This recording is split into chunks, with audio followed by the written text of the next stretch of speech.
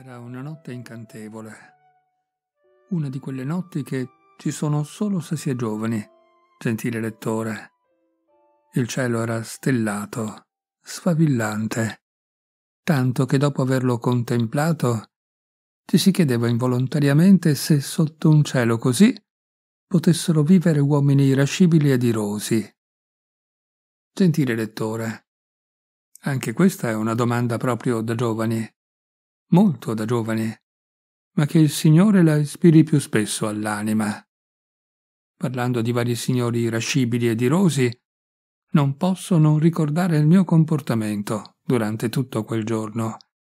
Fin dal mattino un'improvvisa angoscia cominciò a tormentarmi. A un tratto ebbi l'impressione che tutti volessero abbandonarmi e allontanarsi da me.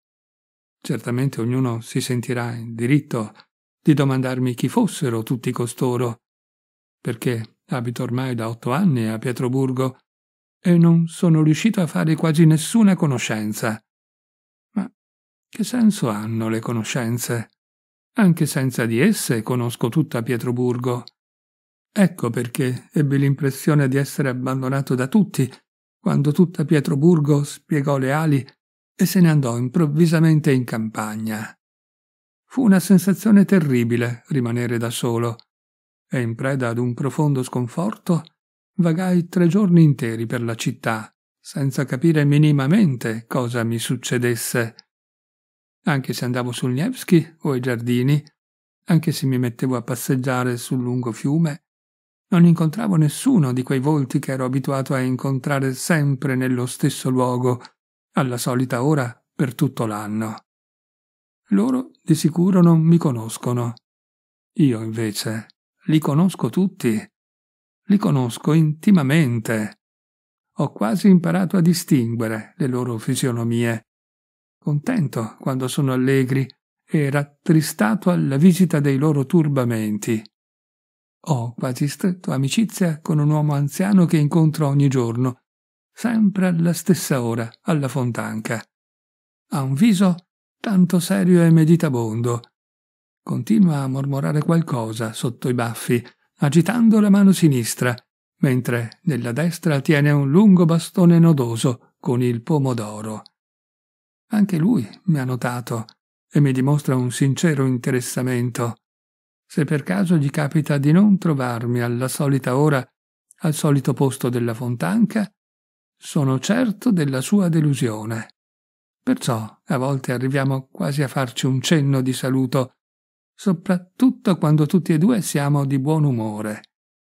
Tempo fa, quando non ci eravamo visti per due giorni interi e poi ci eravamo incontrati il terzo giorno, mancò poco che ci salutassimo togliendoci il cappello, ma per fortuna riuscimmo a trattenersi, lasciando cadere le mani e con un senso di reciproca complicità passammo l'uno accanto all'altro. Conosco anche le case. Quando cammino ho l'impressione che ogni casa mi corra incontro, mi guardi con tutte le sue finestre e mi dica Buongiorno, come state? E anch'io, grazie a Dio, sto bene, e nel mese di maggio mi aggiungeranno un piano. Oppure, come state? Domani cominceranno a ripararmi. Oppure, per poco non mi sono bruciata. Che spavento, eccetera. Ho le mie case preferite, ho tra loro delle amiche intime. Una addirittura è intenzionata a farsi curare quest'estate da un architetto. Verrò a trovarla appositamente ogni giorno, perché non me la curino male. Dio la protegga. Non dimenticherò mai l'episodio accaduto ad una bellissima casetta color rosa chiaro era di pietra, così graziosa che sembrava guardarmi con tanta affabilità, ma fissava le sue goffe vicine con tanta alterigia da far rallegrare il mio cuore quando mi accadeva di passarle accanto. Ecco che la settimana scorsa, a un tratto, passo per la strada e non appena ho dato uno sguardo all'amica, sento un grido lamentoso. Mi pitturano di giallo. Malfattori. Barbari. Non hanno risparmiato nulla, né le colonne, né i cornicioni. E la mia amica è diventata gialla come un canarino. Per questa ragione mi è venuto quasi un attacco di bile e finora non ho avuto la forza di rivedere quella poveretta tutta sfigurata, dipinta con il colore dell'impero celeste. E così, lettore, potrai comprendere il modo in cui conosco tutta Pietroburgo. Ho già detto che per tre ragioni fui tormentato da una specie di agitazione finché non ne intuii la ragione. E anche per la strada stavo male. Manca uno, non c'è l'altro. Dov'è finito il terzo? E persino a casa mia non ero più lo stesso di prima. Per due sere di seguito cercai di darmi una risposta. Cosa mi mancava nel mio angoletto? Perché avvertivo un simile disagio? E sconcertato, fissavo le mie pareti verdi annerite dal fumo e il soffitto da cui pendevano ragnatele coltivate con grande successo da Matregna. Osservavo ogni mobile, guardavo ogni sedia, pensando se per caso la ragione della mia infelicità non stesse proprio lì, perché se anche una sola sedia non stava al posto di ieri, allora anch'io non mi sentivo a posto. Guardavo fuori dalla finestra, ma invano, non stavo meglio. Mi venne perfino l'idea di chiamare Matregna e di riprenderla paternamente per le ragnatele e in genere per la sporcizia. Matregna mi guardò stupita e se ne andò senza neppure una parola, tanto che le ragnatele pendono ancora felicemente dal loro posto. Soltanto questa mattina ho intuito la ragione della mia angoscia. Eh, tutti scappano via da me, in campagna, tagliando la corda. Perdonatemi l'espressione grossolana, ma sto troppo male per usare uno stile elevato. Perché tutti coloro che stavano a Pietroburgo o si erano già trasferiti o stavano trasferendosi in campagna, perché ogni rispettabile signore dall'aspetto imponente, che prendeva a nolo una vettura, si trasformava ai miei occhi in uno stimabile padre di famiglia che, assolte le abituali, doverose occupazioni, si trasferiva serenamente nel grembo della sua famiglia, nella dacia. Per tutti questi, i passanti assumevano ora un aspetto del tutto particolare, che sembrava dire ad ogni persona incontrata Noi signori siamo qui solo così, di passaggio, e tra due ore ce ne andremo in dacia. Appena si apriva una finestra, sulla quale avevano tamburellato per un attimo delle piccole dita sottili, bianche come lo zucchero, e dalla quale era spuntata la testolina di una graziosa ragazza che chiamava un venditore di fiori, allora io immaginavo immediatamente che questi fiori non si compravano per dilettarsi della primavera e dei colori in un soffocante appartamento di città, ma che tutti presto se ne sarebbero andati via, in campagna, con i loro acquirenti. Come se non bastasse, feci tali progressi in questa nuova e particolare scoperta che avrei potuto segnalare senza errori solo dall'aspetto in quale dacia abitasse ognuno di loro. Gli abitanti delle isole Kamennici e Apterkasky o della via Petrogovskaya si distinguevano per l'acquisita eleganza dei loro modi, dagli abiti estivi all'ultima moda e per le stupende carrozze usate per venire in città. Gli abitanti di Pargolovo e dei dintorni si imponevano fin dal primo sguardo per la loro accortezza e per il loro aspetto imponente. Invece, quelli dell'isola Krestovsky si distinguevano per la loro imperturbabile allegria. Se riuscivo a incontrare una lunga processione di carrettieri che camminavano pigramente con le briglie in mano dietro i carri, stracarichi di montagne di ogni sorta di mobili, tavoli, sedie, divani turchi e non turchi e altri tesori domestici, sulla cui cima troneggiava spesso una prosperosa cuoca che sorvegliava la proprietà del padrone come la pupilla dei propri occhi, se scorgevo inoltre delle barche stracariche di masserizie che scivolavano lungo la nevo alla Fontanca fino alla Cernaia Rechka o alle isole, allora carri e barche si moltiplicavano, si centuplicavano ai miei occhi. Mi sembrava che tutto si alzasse e partisse, che carovane intere si trasferissero in campagna. Pietroburgo dava l'impressione di trasformarsi in un deserto, da provare alla fine un senso di vergogna, di offesa e di tristezza. Non avevo la benché minima ragione di trasferirmi in campagna. Ero pronto a partire con ogni carro e con ogni signore dall'aspetto autorevole che prendesse a nolo una vettura. Ma nessuno, decisamente nessuno, mi aveva invitato. Come se mi avessero dimenticato, come se fossi per loro un completo estraneo. Camminai molto e a lungo, tanto che feci in tempo a dimenticare, secondo la mia abitudine, dove fossi, quando, ad un tratto, mi trovai ad una porta della città. In un lampo diventai allegro e oltrepassai la barriera, incamminandomi tra campi seminati e prati. Non mi sentivo stanco, ma avvertivo con tutto il mio fisico che un peso mi cadeva dall'anima. Tutti i passanti mi guardavano con grande gentilezza quasi a salutarmi. Tutti erano allegri per qualche ragione. Tutti, senza eccezione, fumavano un sigaro. E anch'io ero allegro come non mai prima, come se ad un tratto mi fossi trovato in Italia. Tanta era la forza della natura che aveva colpito proprio me, un cittadino dalla salute precaria, quasi soffocato dalle mura della città. Esiste qualcosa di inspiegabilmente commovente nella nostra natura pietroburghese, quando con il sopraggiungere della primavera mostra ad un tratto tutta la sua potenza, tutte le forze datele dal cielo per ricoprirsi, abbellirsi, colorarsi di fiori. In qualche modo mi ricorda involontariamente quella ragazza tisica e deperita che voi guardate a volte con compassione, a volte con un certo affetto pietoso, a volte semplicemente non la notate neppure, ma che improvvisamente, per un attimo solo, in modo disperato, diventa inspiegabilmente di una meravigliosa bellezza. E voi, colpito e inebriato, vi chiedete inconsapevolmente qual è la forza che dà un tale splendore, un tale fuoco a quei tristi occhi pensosi? Che cosa ha fatto affluire il sangue a quelle pallide gote incavate? Che passione si è riversata sui teneri lineamenti del volto? Per quale ragione il petto ansima così? Che cosa ha provocato improvvisamente la forza, la vita e la bellezza sul volto di quella povera ragazza? Lo ha fatto brillare di un simile sorriso e ravvivare da una gaia e scintillante risata. Vi guardate intorno, cercate qualcuno, pensate di intuire.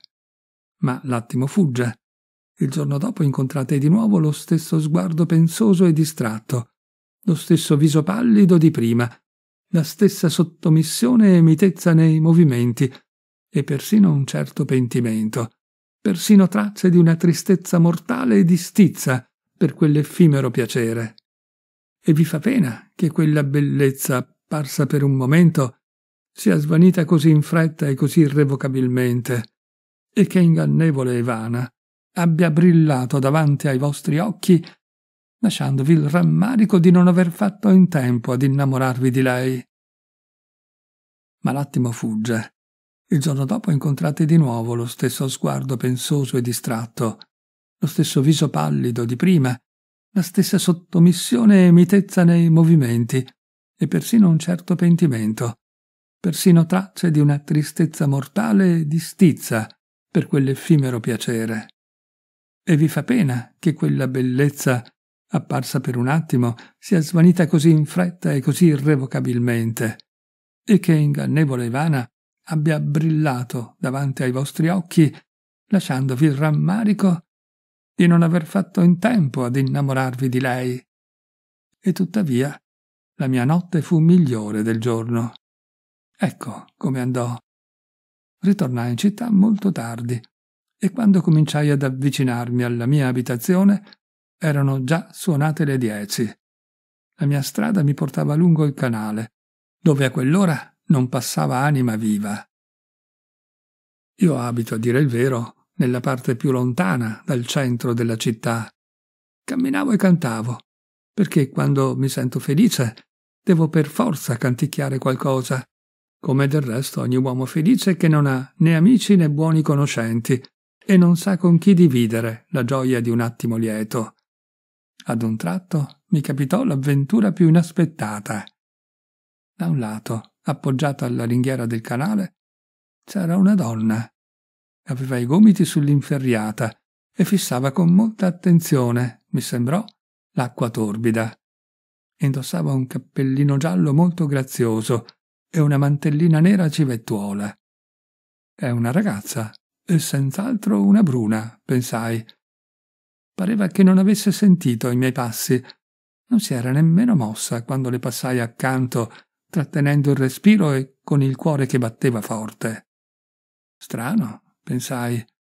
Di sicuro ha qualche seria preoccupazione. E di colpo mi fermai come impalato. Avevo sentito un pianto soffocato. No, non mi ero sbagliato.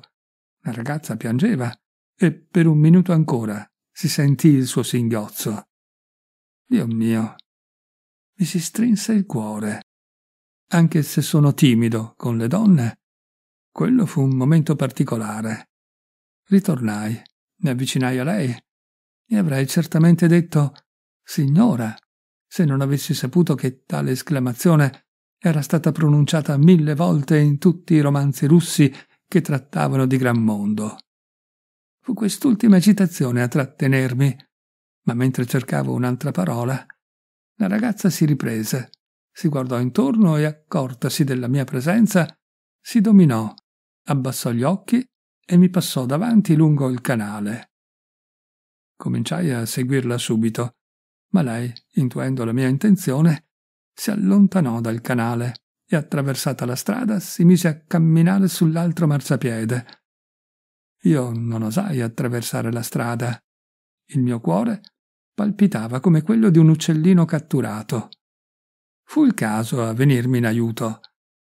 Dall'altro lato del marciapiede, non lontano dalla mia sconosciuta, spuntò fuori improvvisamente un signore in frac, di età rispettabile, ma non si potrebbe dire altrettanto della sua andatura. Camminava barcollando, e con prudenza si appoggiava al muro.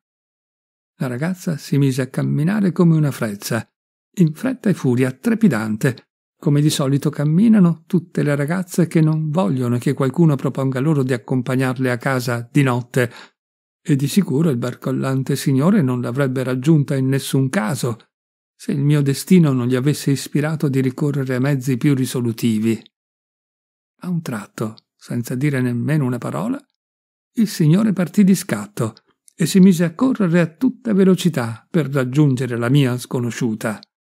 Lei filava come il vento, ma il signore vacillante stava per raggiungerla. La raggiunse. La ragazza gridò e benedico il destino per l'eccellente bastone nodoso che quella volta tenevo nella mia destra. In un attimo mi trovai dall'altra parte del marciapiede in un attimo lo sconosciuto capì la situazione, si rese conto delle temerarie circostanze, si fermò in silenzio e soltanto quando ormai noi fummo molto lontani strepitò in termini assai energici. Le sue parole ci arrivarono appena. Datemi il braccio, dissi alla mia sconosciuta, e quest'uomo non oserà più molestarvi. Senza dire una parola mi porse il braccio ancora tremante dall'agitazione e dallo spavento. Oh, sconosciuto signore, come ti benedissi in quel momento. La guardai di sfuggita.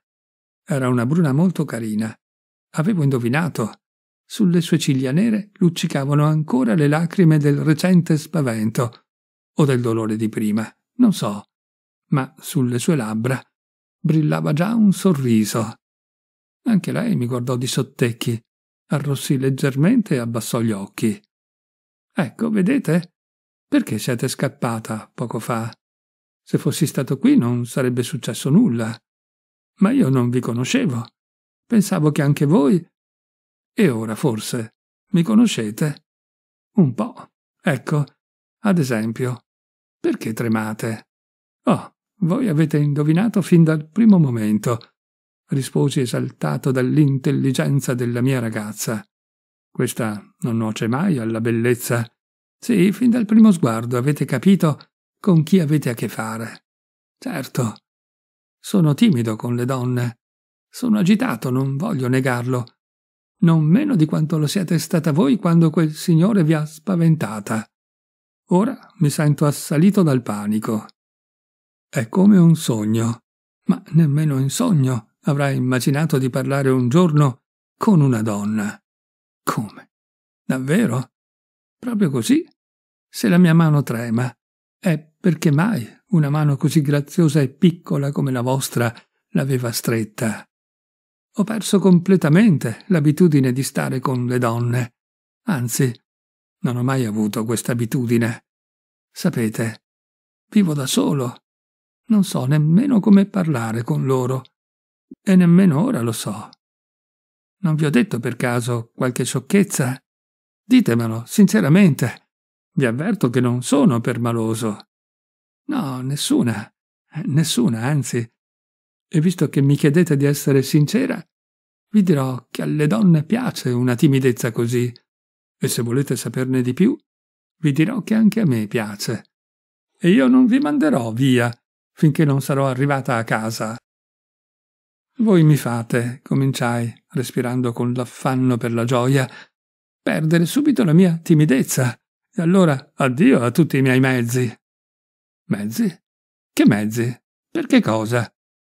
Ecco, lo trovo sciocco. Perdonatemi, non lo farò più. Mi è scappato di bocca, ma come volete che in un momento simile non ci sia il desiderio di piacere? Non è vero, forse? Insomma, sì, ma Siate buona. Giudicate chi sono io. Ho già 26 anni e non ho mai visto nessuno. E allora, come posso parlare bene, con disinvoltura e a proposito? E anche voi vi sentirete più a vostro agio quando tutto sarà chiaro, alla luce del sole. Non posso tacere quando il cuore parla dentro di me.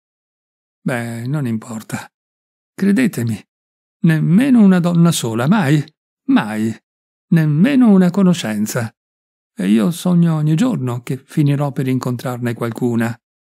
Ah, se voi sapeste quante volte sono stato innamorato in questo modo. Ma come? Di chi? Di nessuno. Di un ideale che mi appare in sogno. Sognando, creo interi romanzi. Oh, voi non mi conoscete. È vero, non si può vivere senza sognare, ho incontrato due o tre donne, ma che donne possono essere state?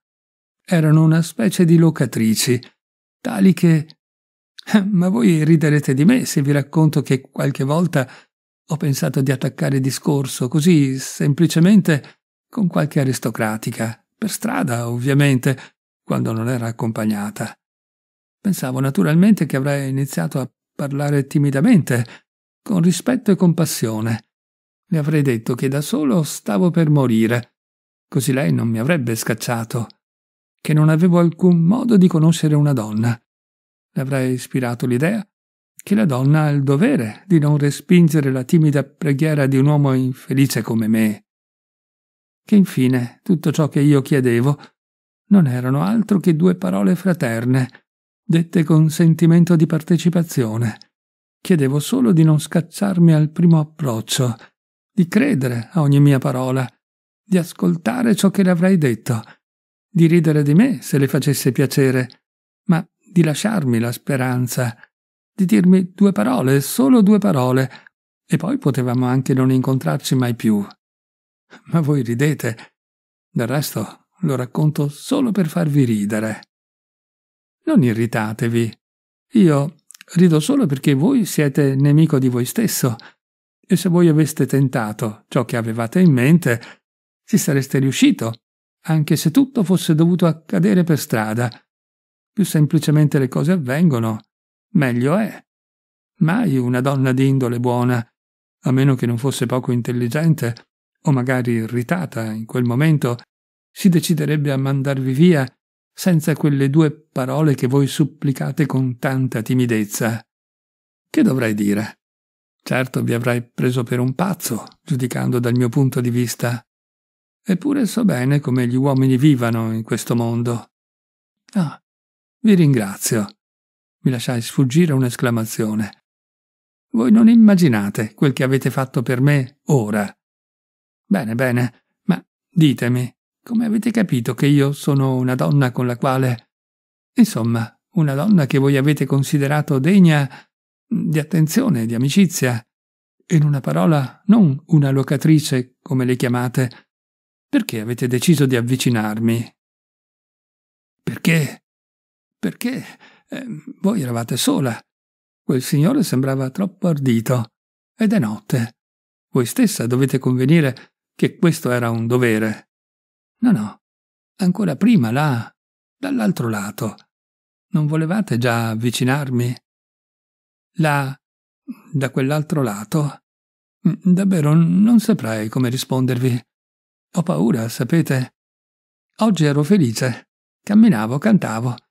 Ero stato fuori città. Fino ad allora non avevo mai vissuto attimi così felici. Voi... Eh, ma forse era solo un'impressione. Perdonatemi se ve lo ricordo.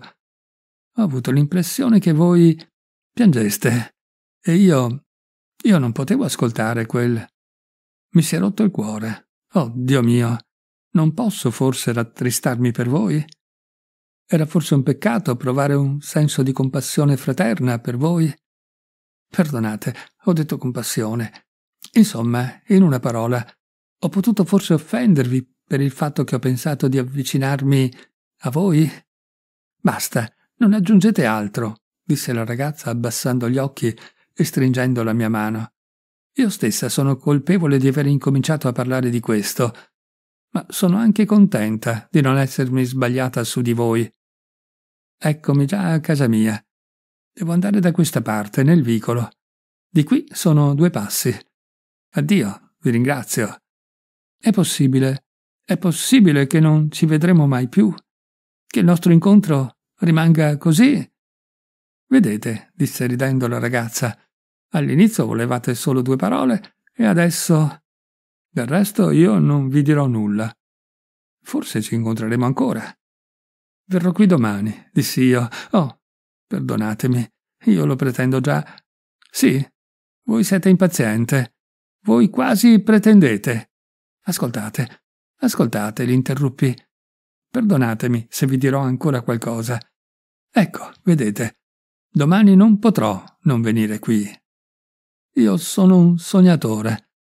Ho vissuto così poco la vita reale che attimi come questi non posso non ripeterli nei sogni.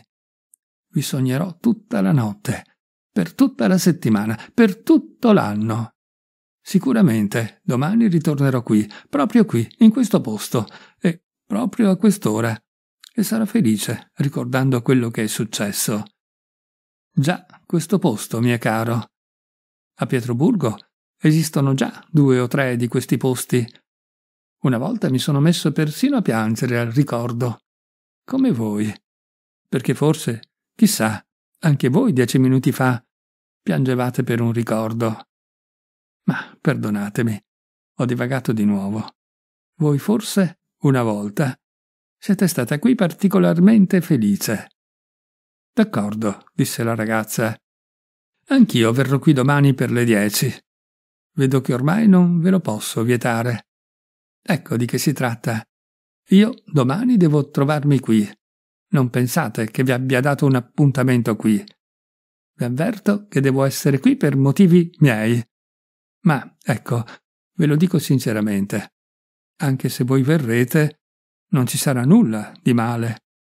In primo luogo ci potrebbe essere, come oggi, qualche episodio spiacevole, ma lasciamo perdere.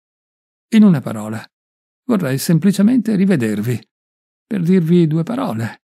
Solo, badate a non giudicarmi male adesso, non pensate che io dia appuntamenti con tale facilità. L'avrei anche fatto se...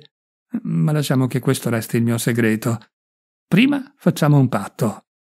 Un patto. Parlate, dite, dite tutto. Prima io acconsento a tutto.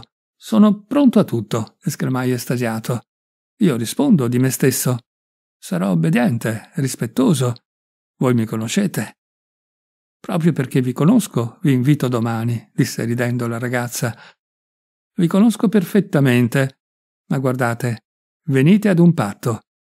In primo luogo, siate solo così buono da fare ciò che vi chiederò. Vedete, io vi parlo con franchezza, non vi dovete innamorare di me. Vi assicuro che non è possibile. Sono pronta a darvi la mia amicizia. Eccovi la mia mano. Ma innamorarsi non è possibile. Vi prego. Ve lo giuro, esclamai afferrando la sua piccola mano. Basta, non occorre giurare. So benissimo che siete capaci di prendere fuoco come polvere. Ma non giudicatemi male se vi parlo così. Se voi solo conosceste. Anch'io non ho nessuno con cui scambiare una parola, a cui chiedere un consiglio. Di sicuro non devo cercare un consigliere per strada. Ma voi siete un'eccezione. Io vi conosco così bene come se fossimo amici da vent'anni. E davvero voi non cambierete dopo? Vedrete. Solo non so come farò a vivere le prossime ventiquattro ore. Dormite bene. Buonanotte e ricordate che vi ho dato la mia fiducia. Poco fa l'avete detto così bene che bisogna rendere conto di ogni sentimento, perfino di una compassione fraterna. Sapete, questo l'avete detto così bene che subito mi ha balenato il pensiero di confidarmi con voi. Per amor di Dio, di che cosa? A domani? Per ora dovrà essere un segreto. Meglio per voi, anche se da lontano potrà sembrare un romanzo. Forse domani vi dirò tutto. Forse no. Parleremo ancora.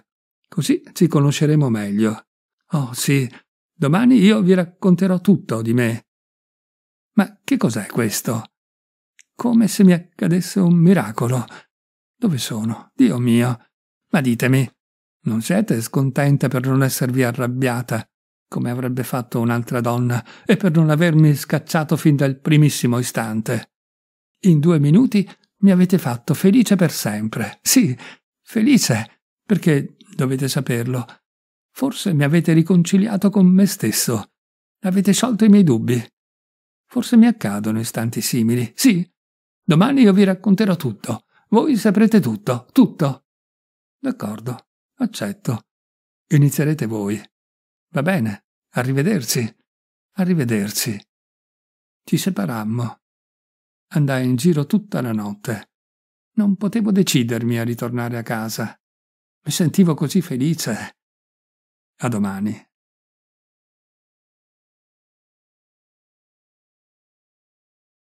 Seconda notte.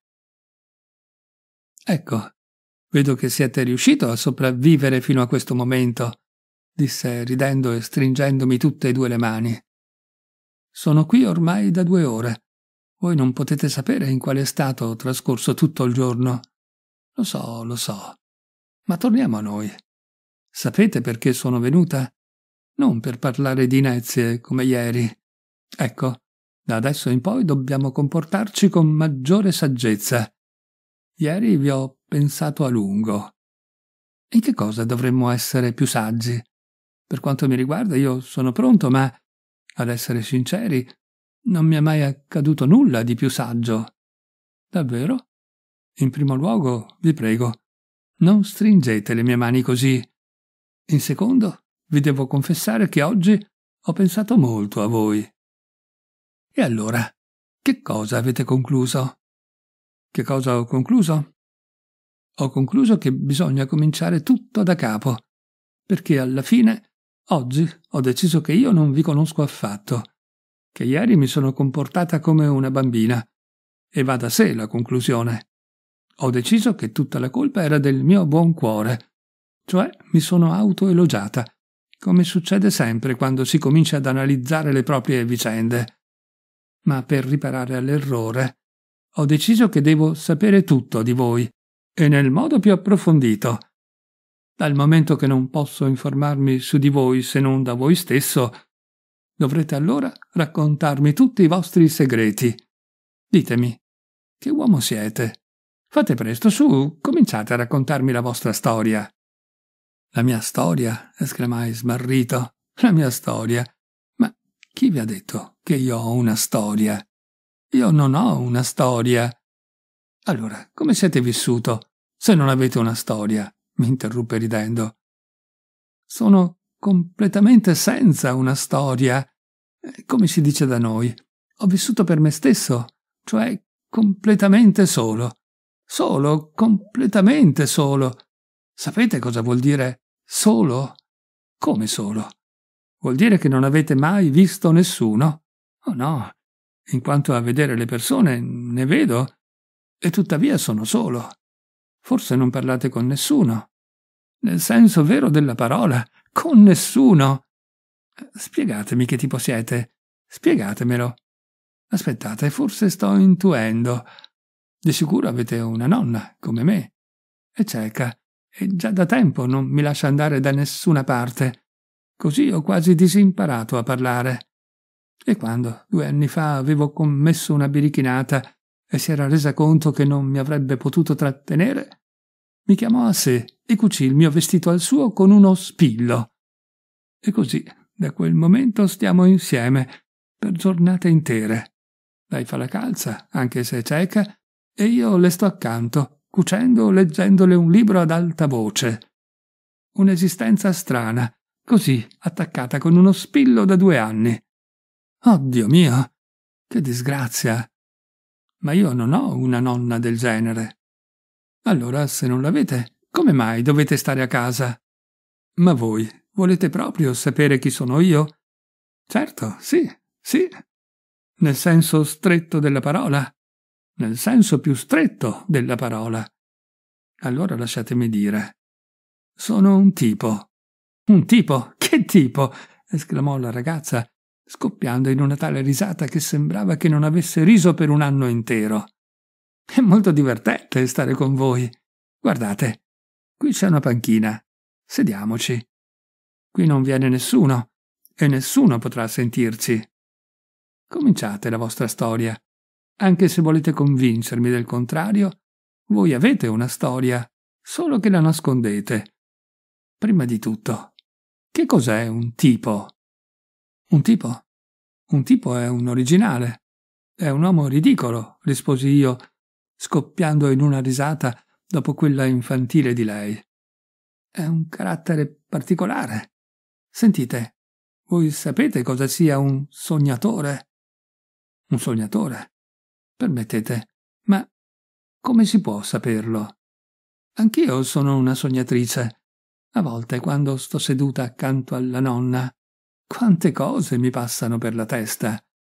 Quando si comincia a sognare, si possono immaginare tante cose, addirittura che sto per sposare un principe cinese. Ma d'altra parte, fa bene sognare. Ma no, Dio mio, soprattutto quando, anche senza sognare, ci sono altri pensieri per la testa, aggiunse la ragazza, assumendo questa volta un'espressione seria. Magnifico, magnifico. Se già qualche volta avete sposato un principe cinese, allora mi potrete comprendere alla perfezione. Dunque, ascoltate. Ma permettete, io non so ancora come vi chiamate. Finalmente vi siete ricordato presto di chiedermelo. Ah, Dio mio, non mi è venuto in mente. Anche così mi sentivo felice. Mi chiamo Nashtenka. Nashtenka solo? Solo? Vi sembra poco? Siete così insaziabile? Poco. Anzi, è molto, molto, moltissimo. Nastenka, mia cara ragazza. Fin dalla prima volta voi siete diventata per me Nastenka. Che dite? Davvero? Ecco, ascoltate, Nastenka, che storia ridicola ne viene fuori. Mi sedetti vicino a lei, assunsi un atteggiamento serio da uomo meticoloso e cominciai a raccontare così, come si scrive nei libri. Esistono a Pietroburgo, Nastenka, alcuni strani angolini, anche se voi non li conoscete. In quei posti sembra che non arrivi quel sole che brilla per tutti gli abitanti di Pietroburgo, ma un altro sole quasi ordinato appositamente per quegli angolini e risplende di una luce diversa, particolare. In quegli angolini, cara Nastenka, sembra svolgersi una vita diversa, che non somiglia affatto a quella che ribolle intorno a noi. Una vita come potrebbe svolgersi nel trentesimo regno di Fiaba, e non da noi, nella nostra epoca così seria e così dura. Ecco, Questa vita è un miscuglio di elementi puramente fantastici, ardentemente ideali e, ahimè, Nastenka, di elementi banalmente prosaici e abitudinari, per non dire inverosimilmente volgari. Oh, Signore Dio, che introduzione! Che cosa sentirò ancora? Sentirete, Nastenka. Credo che non smetterò mai di chiamarvi Nastenka. Sentirete che in tutti questi angolini vivono degli uomini strani, dei sognatori.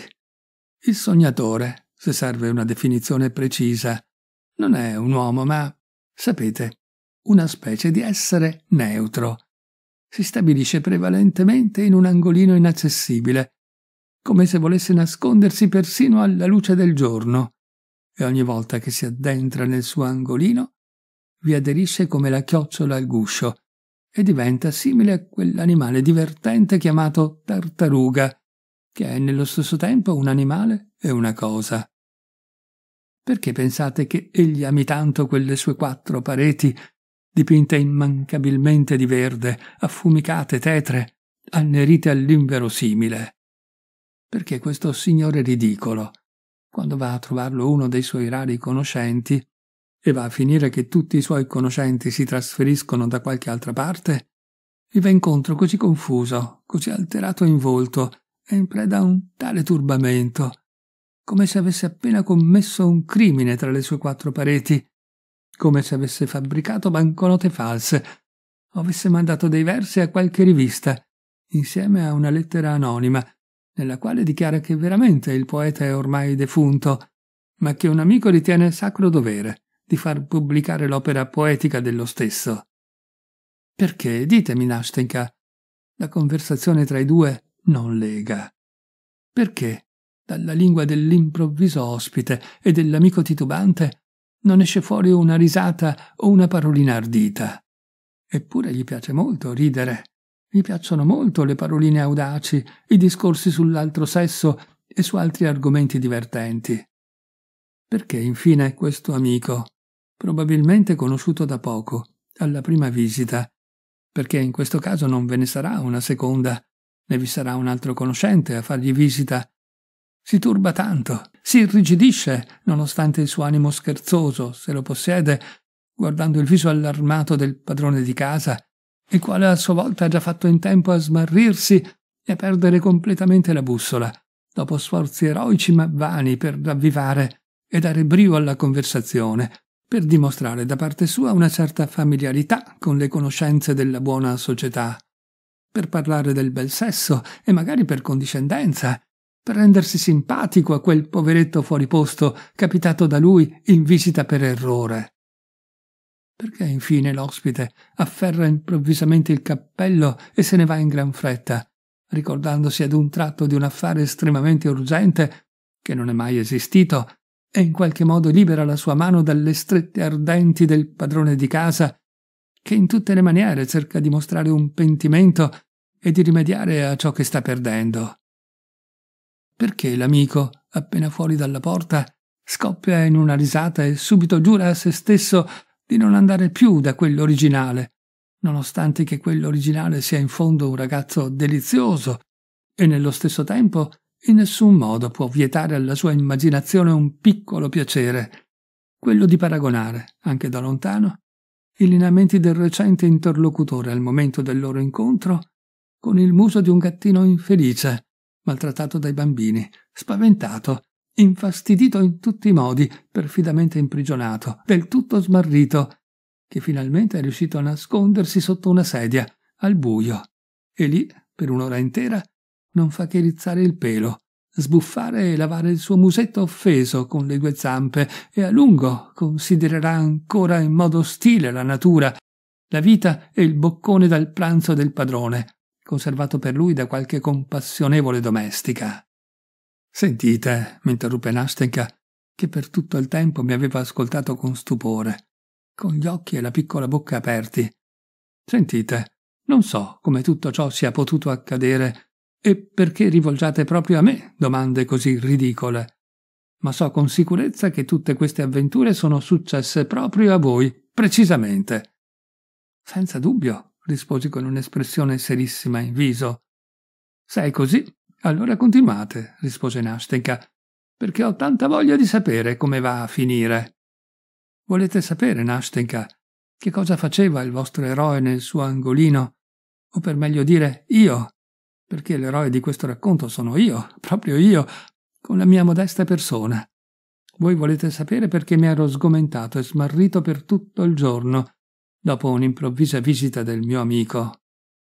Volete sapere perché fossi così trasalito, così arrossito dopo aver aperto la porta della mia stanza e perché non avessi saputo accogliere un ospite e come fossi stato vergognosamente annientato dall'onere dell'ospitalità. Sì, sì, certo, sì, sì, rispose Nastenka, proprio così. Sentite però, voi sapete raccontare meravigliosamente, ma non è possibile raccontare in modo meno meraviglioso. Sembra che parliate come un libro stampato. Nastenka, dissi con voce solenne e severa, a fatica trattenendo il riso. Cara Nastenka, so di parlare in tono sublime, ma dovete scusarmi, non so raccontare in modo diverso. Adesso, cara Nastenka, assomiglio allo spirito di re Salomone, rinchiuso per mille anni dentro una giara con sette sigilli e dalla quale infine hanno stappato tutti i sette sigilli.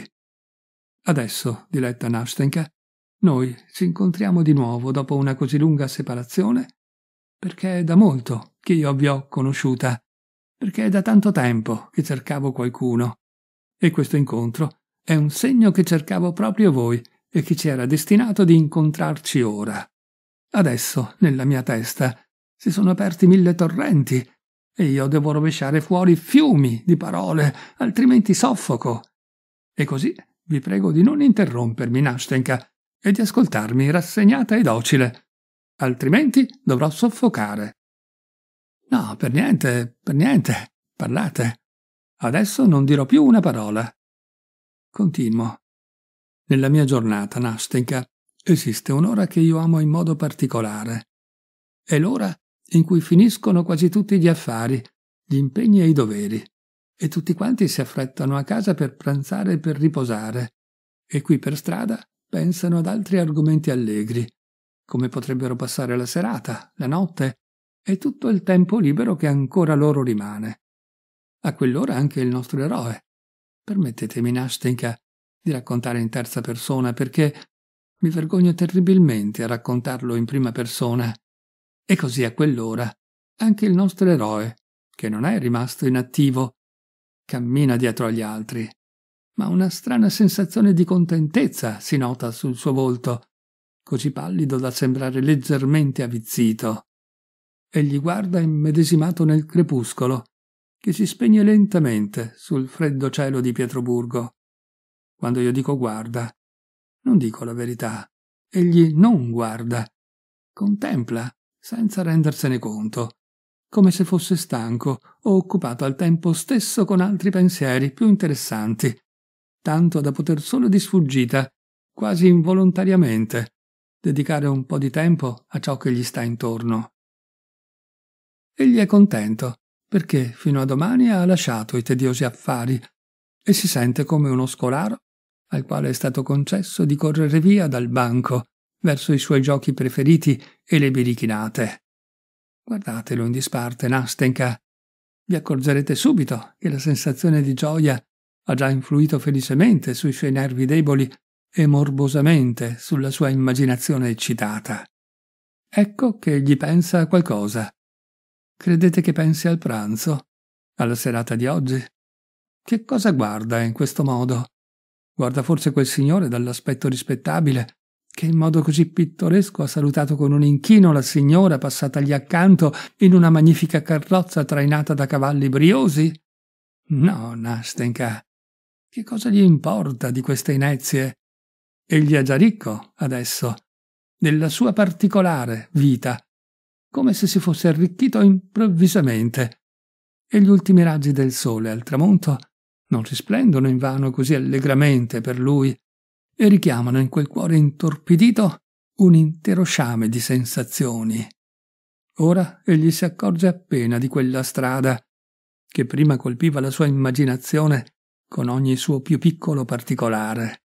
Ora la dea fantasia se aveste letto Zukowski, cara Nastenka, ha già tessuto con la sua mano capricciosa la propria trama d'oro e ha disfatto davanti a lui i ricami di una vita insolita e meravigliosa. E chissà, forse lo ha trasportato con quella mano capricciosa al settimo cielo di cristallo, sollevandolo dal massiccio marciapiede di granito sul quale egli stava camminando. Provate a fermarlo ora, a chiedergli improvvisamente dove si trovi, quali vie ha percorso. Egli certamente non si ricorderà di nulla, né dove sia andato, né dove si trovi ora, e arrossendo per il dispetto, certamente dirà una bugia qualunque, tanto per salvare la faccia. Ecco perché è trasalito così, e per poco non si è messo a gridare, guardandosi intorno con spavento, quando un'anziana signora, molto rispettabile, lo ha fermato in mezzo al marciapiede per chiedergli informazioni sulla strada smarrita. Accigliato per la stizza, egli riprende il cammino, accorgendosi appena che più di un passante ha sorriso e si è voltato a guardarlo, e che qualche bambina, dopo avergli ceduto timorosamente il passo, è scoppiata in una fragorosa risata, vedendo il suo largo sorriso contemplativo e i movimenti delle sue mani. E intanto la stessa fantasia ha sollevato in un volo giocoso la signora anziana, i passanti curiosi, la ragazza ridente e i contadini che passano la serata nelle loro chiatte ancorate sulla fontanca. Immaginiamo che il nostro eroe a quell'ora sia passato di lì. Ha intessuto giocosamente tutto e tutti nel suo canovaccio, come mosche in una ragnatela. Arricchito da ciò che ha acquistato, quell'originale è tornato nella sua tana consolante. Si è seduto per pranzare, anzi, ha già pranzato ed è ritornato in sé solo quando Matregna, che lo serve, meditabonda ed eternamente triste, ha portato via ogni cosa dalla tavola e gli ha portato la pipa.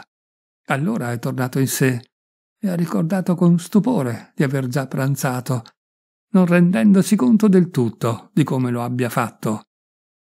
La stanza è invasa dal buio. Nella sua anima regnano il vuoto e la tristezza.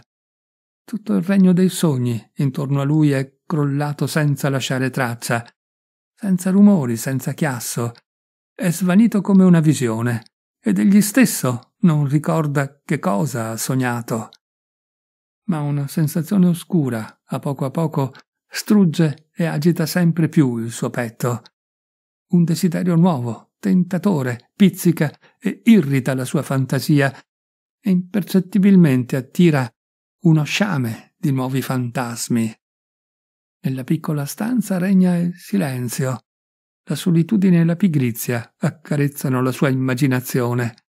Essa si infiamma, piano, e piano si mette a bollire, come l'acqua nella caffettiera della vecchia matregna, che nella cucina accanto prepara placidamente il suo caffè ecco che l'immaginazione di lui già prorompe in nuovi bagliori. Ecco che il libro, aperto senza scopo e a caso, cade dalle mani del mio sognatore, che non è giunto nemmeno alla terza pagina. La sua immaginazione è di nuovo riacutizzata, risvegliata, e improvvisamente un nuovo mondo, una nuova e affascinante vita ardono davanti a lui in tutta la loro scintillante prospettiva un nuovo sogno, una felicità nuova, una nuova dose di raffinato e voluttuoso veleno. Oh, che importanza ha per lui la nostra vita reale. Secondo il suo sguardo corrotto, noi due, Nastenka, viviamo con tale lentezza, pigrizia, fiacchezza. Siamo così insoddisfatti del nostro destino, siamo così annoiati della nostra vita. E infatti, guardate, come in realtà i nostri rapporti al primo sguardo possono apparire freddi, tristi, quasi ostili. Poveri, pensa il mio sognatore, e non è strano che pensi così. Guardate questi magici fantasmi che si dispongono in modo tanto ammaliante e capriccioso in un ampio quadro così accattivante, animato, dove in primo piano si trova sempre lui, il nostro sognatore, con la sua preziosa persona. Guardate quante avventure diverse, che infinito sciame di sogni esaltanti. Forse chiederete che cosa egli sogni. Che senso ha chiederlo? Egli sogna tutto. Sogna della missione del poeta, all'inizio non riconosciuto, poi rinomato. Sogna l'amicizia con Hoffman, la notte di San Bartolomeo, Diana Vernon, il suo ruolo eroico di Ivan Vasilievich alla presa di Kazam, Clara Movrey, Evia Dance, il concilio di sacerdoti con Us davanti a loro, la risurrezione dei morti di Robert. Ricordate quella musica? All'odore del cimitero. Minna e Brenda, la battaglia presso Berezina, la lettura di un poema nella casa della contessa d'Anton, Cleopatra e i suoi amanti, la casamatta di Colomna, il suo angolino, e vicino una cara creatura che sta ad ascoltarlo in una sera d'inverno, con gli occhi e la piccola bocca aperti, come mi ascoltate ora voi, mio piccolo angioletto. No, Nastenka. A che cosa servirebbe a lui, a quel voluttuoso pigrone, questa vita che noi due desideriamo tanto? Egli pensa che sia una vita povera, misera, non immaginando che anche per lui forse suonerà una volta quella triste ora quando per un giorno di quella misera vita avrebbe dato tutti i suoi anni di fantasticherie e non li avrebbe dati in cambio di gioia e di felicità e non avrebbe voluto nemmeno scegliere in quell'ora di tristezza, di pentimento e di libero dolore.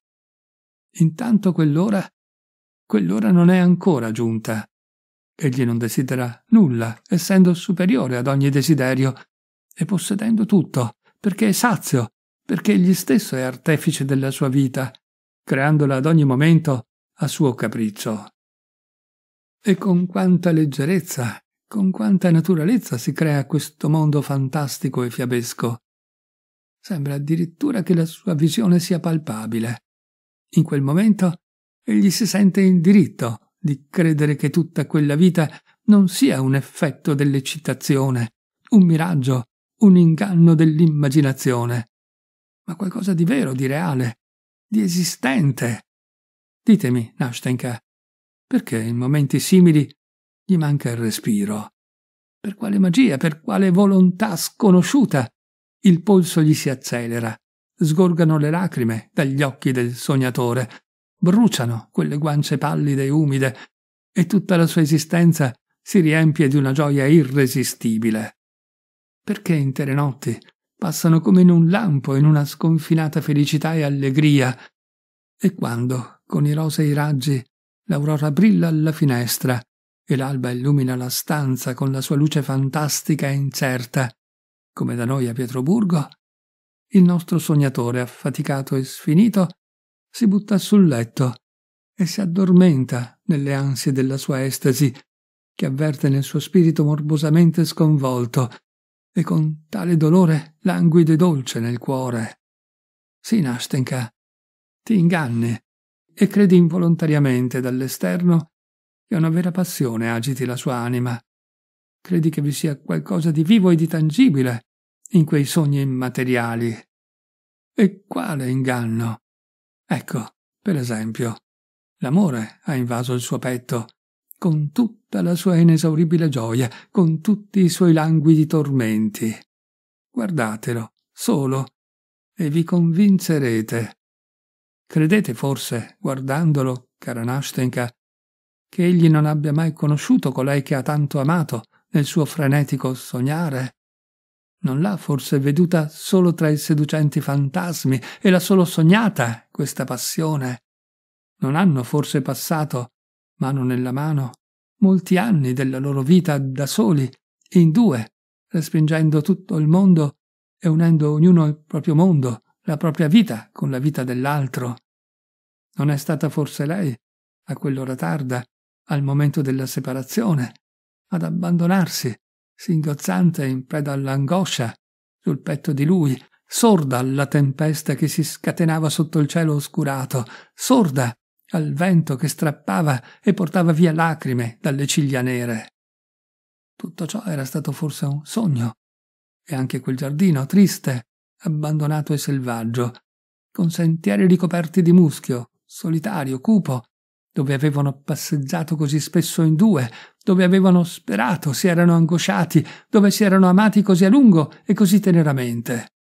E quella strana casa degli avi, dove lei era vissuta tanto tempo triste e in solitudine, con il vecchio e tetro marito, bilioso, che taceva sempre e che spaventava loro, che erano timidi come bambini e si nascondevano a vicenda il loro amore reciproco, con timore e con malinconia. Come soffrivano, come erano spaventati, come innocente e puro era il loro amore, e come, e va da sé Nastenka, erano cattivi gli uomini. Oh Dio mio! Ma non l'aveva incontrato, forse, dopo qualche tempo, lontana dalle rive della sua patria, sotto un cielo straniero, meridionale, caldo, in una città eterna e meravigliosa, nello sfolgorio di un ballo, al suono della musica, in un palazzo, proprio in un palazzo, immerso in un mare di luci, su quel balcone, ricoperto dal mirto e dalle rose. E lei, dopo averlo riconosciuto, si tolse in fretta la sua maschera e sussurrò Sono libera e tremando si gettò tra le sue braccia. Dopo un grido di esultanza si abbracciarono e in un attimo dimenticarono la sofferenza, la separazione, tutti i tormenti, la casa triste, il vecchio, il giardino cupo nella patria lontana, la banchina sulla quale, dopo l'ultimo bacio appassionato, lei si strappò con disperata sofferenza dal suo abbraccio pietrificato. Oh, voi acconsentirete, Nastenka, che si possa sussultare, titubare e arrossire come uno scolaretto, il quale abbia messo in tasca la mela rubata dal giardino del vicino, quando un ragazzo alto e forte, un allegro buon tempone, un vostro amico non invitato, spalanca la vostra porta e grida come se niente fosse. Oh, amici, in questo momento sto tornando da Pavlovsk. Dio mio, il vecchio conte è morto. È accaduta una fortuna incredibile. Ecco la gente che arriva da Pavlovsk. Ammutolii, dopo aver finito il mio patetico racconto. Ricordo che avevo una terribile voglia di scoppiare in una risata, perché già sentivo che in me aveva cominciato ad agitarsi un diavoletto maligno, che mi si stringeva la gola e che il mento mi tremava, e che gli occhi mi si inumidivano sempre di più. Aspettavo che Nastenka, che mi ascoltava, spalancando i suoi occhi intelligenti, si mettesse a ridere, con il suo riso infantile, irrefrenabile e allegro. E mi ero già pentito di essermi spinto così avanti e di aver raccontato inutilmente quello che da molto tempo mi bolliva nel cuore. Cose di cui potevo parlare come se fossero state scritte, perché già da tempo il mio racconto era pronto e pertanto non mi trattenni dalla lettura, dalla confessione senza presagire quello che poi mi sarebbe capitato. Ma con mio stupore lei tacque, esitò per un attimo, stringendomi leggermente la mano, e mi domandò, con una certa timida partecipazione, Avete davvero vissuto così tutta la vostra vita? Tutta la vita, Nastenka, risposi io. Tutta la vita. E credo che la finirò così. No, questo non è possibile, disse lei turbata. Questo non sarà mai. Allora io dovrei vivere tutta la vita appuntata con uno spillo alla nonna. Sapete, non è per niente bello vivere così. Lo so, Nastenka, lo so, esclamai io senza riuscire a trattenere il mio sentimento. E ora so più che mai che ho perduto invano i miei anni migliori. Ora lo so e sento una maggiore sofferenza per la coscienza dell'accaduto, perché Dio stesso vi ha mandata, mio buon angelo, per dirmelo e dimostrarmelo. Ora, seduto vicino a voi, mentre vi parlo, provo paura al pensiero del futuro. Il futuro significa la nuova solitudine, significa ritornare a quella vita immobile e vana. E di che cosa potrò sognare se nella realtà io sono stato tanto felice vicino a voi. Ora, seduto vicino a voi, mentre vi parlo, provo paura al pensiero del futuro. Il futuro significa la nuova solitudine, significa ritornare a quella vita immobile e vana, E di che cosa potrò sognare se nella realtà io sono stato tanto felice vicino a voi? Oh, siate benedetta, cara ragazza, perché non mi avete respinto la prima volta, perché ora posso dire di aver vissuto almeno due sere nella mia vita. Oh no, no, no! esclamò Nastenka, e le lacrime le brillarono negli occhi. Non vivrete più così. Non ci separeremo. Che cosa significa due sere? Oh, Nastenka, Nastenka! Voi non sapete che mi avete riconciliato per lungo tempo con me stesso. Sapete che già fin d'ora non penserò più così male di me stesso come ho pensato in certi momenti. Sapete che forse non mi tormenterò più per i delitti e per i peccati che ho commesso nella mia vita, perché una vita così che è un delitto e un peccato. E non dovete pensare che io possa aver esagerato. Per amor di Dio, non pensatelo proprio, Nastenka, perché a volte mi assalgono momenti di tale angoscia, di tale angoscia. In quei momenti io comincio già a credere che non sarò più capace di vivere una vita vera. Mi sembra di aver perduto ogni connotazione, ogni senso della vita, della verità. Ecco che alla fine mi maledico, e dopo le mie notti passate a fantasticare, arrivano per me momenti di sobrietà che sono terribili. E intanto sento come intorno a me rintrona e gira la folla avvolta da un vortice di vita. Odo Vedo come vive la gente in realtà. Vedo che la vita per loro non è stata preordinata, che la loro vita non si spezzerà come un sogno, come una visione, che la loro vita si rinnova eternamente, sempre eternamente giovane, e nessun'ora assomiglia all'altra, mentre la mia fantasia è triste, monotona fino alla volgarità, spaventata, schiava dell'ombra, del pensiero, schiava della prima nube che improvvisamente oscura il sole e riempie di angoscia un autentico cuore pietroburghese che ama così tanto il suo sole. Già, quanti pensieri in quell'angoscia. Allora senti che la fantasia, quella inesauribile fantasia, alla fine si stanca, si esaurisce in quella tensione permanente perché maturata. Abbandona gli ideali presognati e si cadono in polvere, si spezzano in frammenti. E se non esiste un'altra vita, allora ci tocca costruirla con questi frammenti. Ma intanto l'anima chiede e desidera qualcosa di diverso. Invano il sognatore l'ho vista nei suoi vecchi sogni, come fra la cenere, cercandovi una piccola scintilla per soffiarci sopra e riscaldare con il fuoco rinnovato il proprio cuore freddo e far risorgere ciò che prima gli era così caro, che commuoveva la sua anima, che gli faceva ribollire il sangue fino a strappargli le lacrime dagli occhi, così ingannandolo meravigliosamente. Sapete, Nastenka, fin dove sono arrivato? Sapete che sono già costretto a festeggiare l'anniversario delle mie sensazioni, che una volta amavo tanto, che non sono mai esistite perché questo anniversario si festeggia per quei sogni sciocchi ed eterei, e io lo devo fare, perché anche questi sciocchi sogni non esistono più. E non sapete come tenerli in vita. Anche i sogni muoiono. Sapete che mi compiaccio, ora, a date stabilite, di ricordare e visitare quei posti dove sono stato felice nel passato, che mi piace costruire il mio presente in armonia con il passato già irrevocabile, e spesso vago, come un'ombra, senza scopo e senza meta, triste e malinconico per le tortuose vie di Pietroburgo. Che ricordi? Mi viene in mente, per esempio, proprio qui, esattamente un anno fa, in questo periodo, a quest'ora precisa, su questo stesso marciapiede, camminavo altrettanto solo e triste come adesso.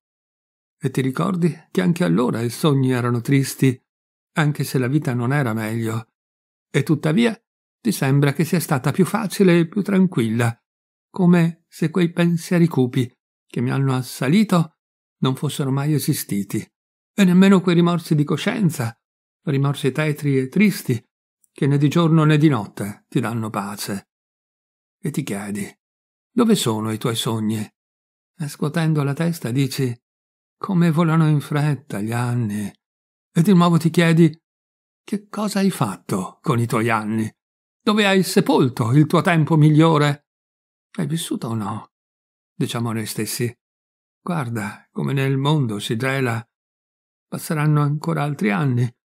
A loro seguirà una triste solitudine. Arriverà la vecchiaia, barcollante sulle grucce, e poi l'angoscia e la tristezza. Impallidirà il tuo mondo fantastico, svaniranno, appassiranno i tuoi sogni e cadranno come le foglie gialle degli alberi. Oh, Nastenka, quanto sarà triste rimanere solo, completamente solo e non avere nemmeno un rimpianto. Nulla. Perché tutto ciò che ho perduto non era nulla. Era uno sciocco, rotondo zero. Soltanto un sogno. Basta, smettete di rattristarmi, disse Nastenka, asciugandosi una piccola lacrima che le stava scivolando dagli occhi. Ora è finita, ora saremo in due. Qualunque cosa possa accadermi, noi non ci separeremo mai. Sentite, io sono una ragazza semplice. Ho imparato poco, anche se la nonna mi ha preso un insegnante. Ma io vi capisco, perché tutto ciò che mi avete raccontato ora, anch'io l'ho vissuto quando la nonna mi cucì il suo vestito. Di certo non avrei potuto raccontarlo così bene come avete fatto voi. Io non ho studiato, aggiunse timidamente perché sentiva un certo senso di rispetto per il mio patetico discorso e il mio stile elevato. Ma sono molto felice che vi siate completamente aperto con me. Adesso io vi conosco perfettamente, vi conosco del tutto. E sapete, anch'io voglio raccontarvi tutta la mia storia, senza nascondervi nulla, e voi mi darete dopo un consiglio. Voi siete un uomo molto intelligente. Promettete di darmi questo consiglio? Ah, Nastenka, risposi io, anche se non ho mai dato un consiglio, tanto più un consiglio saggio, ora vedo che se noi vivremo sempre così, faremo una cosa saggia e ognuno potrà dare all'altro molti saggi consigli. Allora, mia bella Nastenka, che consiglio vi serve? Ditemelo sinceramente. Ora mi sento così allegro, felice, ardito e intelligente da non lesinar parole. No, no, interruppe Nastenka ridendo. Non ho bisogno solo di un consiglio intelligente. Me ne serve uno che parta dal cuore. Un consiglio fraterno, come se mi amaste già da un secolo. D'accordo, Nastenka, d'accordo, esclamai esaltato. Anche se vi amassi da vent'anni, tuttavia non vi amerei più di adesso. La vostra mano, disse Nastenka. Eccola, risposi porgendole la mano. Allora, incominciamo a raccontare la mia storia.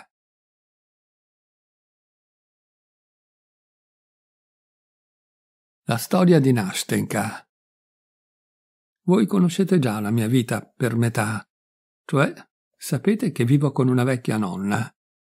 Se l'altra metà è altrettanto breve quanto questa, interruppi con una risata. Tacete e ascoltate. Prima di tutto facciamo un patto. Non mi interrompete altrimenti perderò il filo. Ascoltatemi dunque con calma. Vivo con una vecchia nonna. Arrivai da lei molto piccola, dopo la morte di mia madre e di mio padre. Bisogna pensare che la nonna una volta doveva essere stata più agiata, perché anche ora ricorda giorni migliori. Mi insegnò il francese e in seguito prese un insegnante per me. Quando compii quindici anni, ora ne ho diciassette, smisi di studiare. Ecco, in quel periodo feci qualche birichinata, che non vi starò a raccontare. Vi basti sapere che si trattava di una cosa insignificante. La mattina, invece, la nonna mi chiamò e mi disse che, vista la sua cecità, non era più in grado di sorvegliarmi. Prese uno spillo e attaccò il mio vestito al suo e mi rivelò che saremmo rimaste così per tutta la vita, nel caso io non fossi diventata migliore. In una parola, nei primi tempi non potei allontanarmi in nessun modo. Lavoravo, leggevo, studiavo, ma sempre attaccata alla nonna. Una volta tentai un'astuzia e convinsi Fiecla a sedersi al mio posto. Fiecla è la nostra domestica ed è sorda. Lei si sedette al mio posto. La nonna a quell'ora si era addormentata nella poltrona e io andai a fare una visita ad un'amica, non lontano.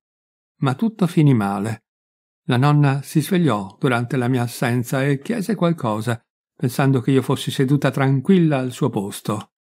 Fiecla si rendeva conto che la nonna le chiedeva qualcosa, ma non riusciva a capire che cosa le dicesse.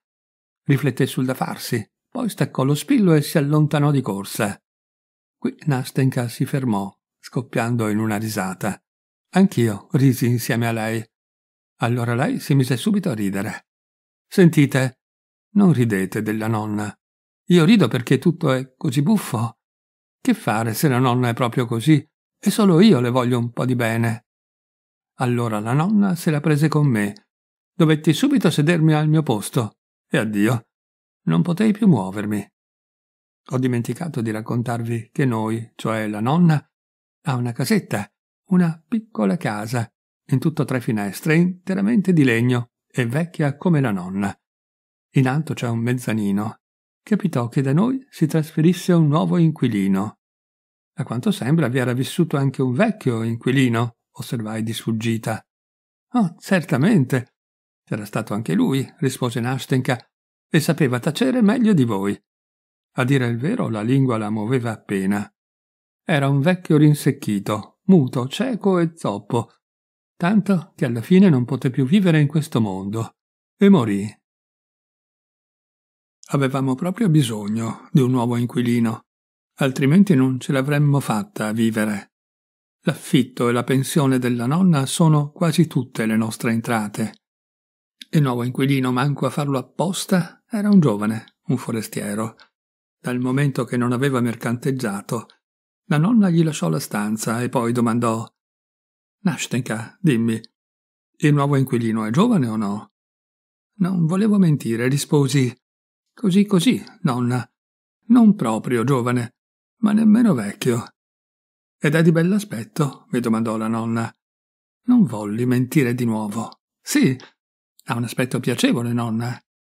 E la nonna commentò Oh, che castigo, che castigo. Nipote mia, io te lo dico. Cerca di non guardarlo troppo. Che tempi. Vedete, un inquilino di poco conto e ha addirittura un aspetto piacevole. Cose del genere non capitavano una volta. La nonna rimugina sempre sui tempi andati. Allora lei era più giovane e il sole era più tiepido e la panna non si inacidiva tanto presto. Tutto questo nei tempi che furono. Ecco che sto seduta in silenzio, mentre penso tra me. Perché la nonna mi mette certe cose in testa? E perché mi dice se l'inquilino è bello e giovane? Ci pensai solo un attimo, di sfuggita. Poi mi misi nuovamente a contare le maglie, a fare la calza. Infine dimenticai tutto. Ecco che una mattina l'inquilino viene da noi per precisare che la stanza gli è stata promessa tappezzata. Una parola tira l'altra. La nonna poi è chiacchierona e mi dice Nastenka, va a prendermi il pallottoliere che è in camera mia. Io sobbalzai subito, diventai tutta rossa, non so perché, e dimenticai lo spillo che mi legava alla nonna. Invece di sfilarlo di nascosto perché l'inquilino non lo potesse vedere, diedi un tale strappo che la poltrona della nonna mi venne dietro, scivolando. Quando mi accorsi che l'inquilino aveva scoperto tutto, Diventai ancora più rossa. Rimasi inchiodata al mio posto e improvvisamente scoppiai a piangere. In quel momento provai un tale senso di vergogna e di amarezza da voler scomparire sottoterra. La nonna gridò Perché sei ancora qui? E io a piangere ancora. L'inquilino notò la mia vergogna davanti a lui, salutò discreto e uscì subito. Da allora, appena sentivo un rumore in anticamera, mi sentivo gelare. Ecco, pensavo, sta arrivando l'inquilino e pian piano, per ogni evenienza, slegavo lo spillo. Ma non era lui, non veniva più. Passarono due settimane e l'inquilino mi fece arrivare, tramite Fiecla, un messaggio in cui mi faceva sapere che aveva molti libri francesi, che si trattava di buoni libri che si potevano leggere. Nel caso che la nonna lo avesse permesso, me li avrebbe mandati da leggere per distrarmi. La nonna accettò con gratitudine solo che mi chiedeva di continuo se quei libri fossero morali. Altrimenti, se i libri sono amorali, non dovrai leggerli mai, Nastenka. Impareresti cose cattive. Che cosa imparerai, nonna? Che cosa vi sta scritto? Ah, rispose, vi è descritto come dei giovani uomini seducono le ragazze per bene e come, col pretesto di volerle sposare, le portano via dalla casa paterna e poi lasciano quelle giovani infelici in preda al destino ed esse muoiono in modo pietoso. Io, dice la nonna, ho letto molti di quei libriccini e tutto, dice, vi è descritto così bene che stai alzata tutta la notte a leggerli. Ma tu, Nashtenka, prosegue, non leggerli. Che libri ci ha mandato? Sono tutti romanzi di Walter Scott, nonna. Romanzi di Walter Scott. E guarda se non ha combinato qualche brutto scherzo. Guarda se non ci ha messo qualche letterina d'amore. No, nonna, dico, non vi sono letterine. Guarda sotto la ripiegatura. Quei briganti a volte le infilano nella rilegatura. No, nonna, anche sotto la rilegatura non c'è nulla. Allora possiamo leggerli. Cominciammo a leggere Walter Scott e in un mese avevamo letto quasi la metà dei romanzi. L'inquilino continuava a mandarceli. Mandò anche le opere di Pushkin, tanto che alla fine io non potevo più rimanere senza libri e smisi di pensare a come sposare un principe cinese. Andammo avanti così, finché una volta incontrai il nostro inquilino sulle scale. La nonna mi aveva mandato a cercare qualcosa. Egli si fermò, io arrossii. Anche lui si fece rosso, ma poi sorrise salutò, si informò sulla salute della nonna e mi domandò Avete letto i libri? Risposi sì, li ho letti. E quale libro vi è piaciuto più di tutti? Io risposi Ivanò e le opere di Pushkin. Quella notte tutto finì lì. Dopo una settimana lo incontrai di nuovo. Questa volta non era stata la nonna a mandarmi, ma ero uscita per cose mie. Erano le tre l'ora in cui di solito l'inquilino ritornava. Buongiorno, mi dice, e io gli rispondo Buongiorno. Non vi annoiate? mi domandò, a star seduta tutto il giorno con la nonna? Dopo la sua domanda, non so perché diventai tutta rossa. Provai vergogna e stizza, probabilmente perché era un estraneo a farmi quella domanda. Avrei voluto andarmene senza una risposta, ma non ne ebbi la forza. Sentite, mi dice, voi siete una brava ragazza. Scusatemi se vi parlo così, ma vi assicuro che voglio il vostro bene più della nonna. Non avete amiche che potete andare a trovare? Io rispondo di no. Ne avevo una sola, Mastenka, ma questa si era trasferita a Pskov. Sentite, mi dice, vi farebbe piacere andare con me a teatro? A teatro? E la nonna? Sì, voi potreste andarvene dalla nonna piano, in silenzio. No, rispondo, non voglio ingannare la nonna. Arrivederci. Allora arrivederci, disse senza aggiungere altro. Dopo il pranzo venne da noi, si sedette, chiacchierò a lungo con la nonna. Le domandò se uscisse di casa per andare da qualche parte, se avesse conoscenze, e poi disse ad un tratto Ho preso per oggi un palco all'opera. Danno il barbiere di Siviglia. Volevano venirci dei conoscenti, ma poi hanno rinunciato e mi è rimasto il biglietto. Il barbiere di Siviglia? esclamò la nonna. Proprio quello che rappresentavano ai vecchi tempi? Sì, disse l'inquilino, è lo stesso. Poi mi guardò. Io avevo già capito tutto. Arrossii e il cuore mi saltava nel petto per l'attesa. Come non conoscere quell'opera? disse la nonna. Io stessa avevo recitato la parte della Rosina nel nostro teatro familiare. E non vorreste venire oggi? domandò l'inquilino. Il biglietto andrebbe perduto. Sì, perché no? Andiamo, disse la nonna. Perché non dovremmo andare? E poi Nastenka non è mai stata a teatro. Dio mio, che gioia! Ci vestimmo subito e partimmo. Anche se la nonna è cieca, tuttavia aveva una gran voglia di ascoltare la musica e inoltre è una buona vecchietta. Voleva che io mi divertissi, perché da sole non ci saremmo andate mai. Non vi racconterò quale sia stata la mia impressione del barbiere di Siviglia. Vi dirò solo che l'inquilino continuò a fissarmi con uno sguardo tanto buono per tutta la sera. Mi parlò con tale simpatia da farmi intuire che quella mattina mi aveva messa alla prova, con la proposta di andare a teatro da sola con lui. Che gioia! Andai a letto così fiera, così allegra. Il cuore mi batteva così forte che mi venne una leggera febbre e sognai per tutta la notte il barbiere di Siviglia. Pensavo che, dopo questo episodio, egli sarebbe venuto più spesso a trovarci, ma non fu così. Aveva quasi smesso di farci delle visite. Così una volta al mese capitava da noi e soltanto per invitarci a teatro. In seguito ci andammo altre due volte, ma io non ne fui contenta. Mi accorgevo che lui provava compassione per me perché ero costretta a vivere come in un recinto e nient'altro.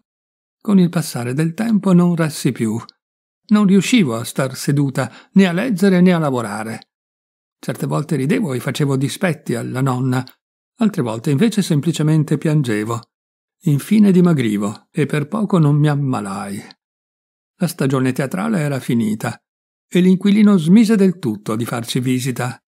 Quando ci incontravamo, e sempre sulla stessa scala, egli mi faceva un inchino, in silenzio, e così serio come se non volesse rivolgermi la parola, e già stava sul pianerottolo, mentre io ero ancora a metà delle scale, rossa come una ciliegia, perché ogni volta che l'incontravo tutto il sangue mi affluiva alla testa. Adesso sono quasi alla fine. Esattamente un anno fa, a maggio, l'inquilino venne da noi e ci disse che i suoi affari qui erano finiti e che doveva tornare di nuovo per un anno a Mosca. Quando sentii questa notizia, impallidì e caddi su una sedia come morta. La nonna non si accorse di niente ed egli, dopo averci comunicato la sua partenza, si inchinò e uscì dalla stanza. Che fare? Pensai e ripensai. Mi tormentai a lungo e infine mi decisi. Doveva partire il giorno seguente ed io decisi di chiarire tutto quella sera, dopo che la nonna si fosse coricata.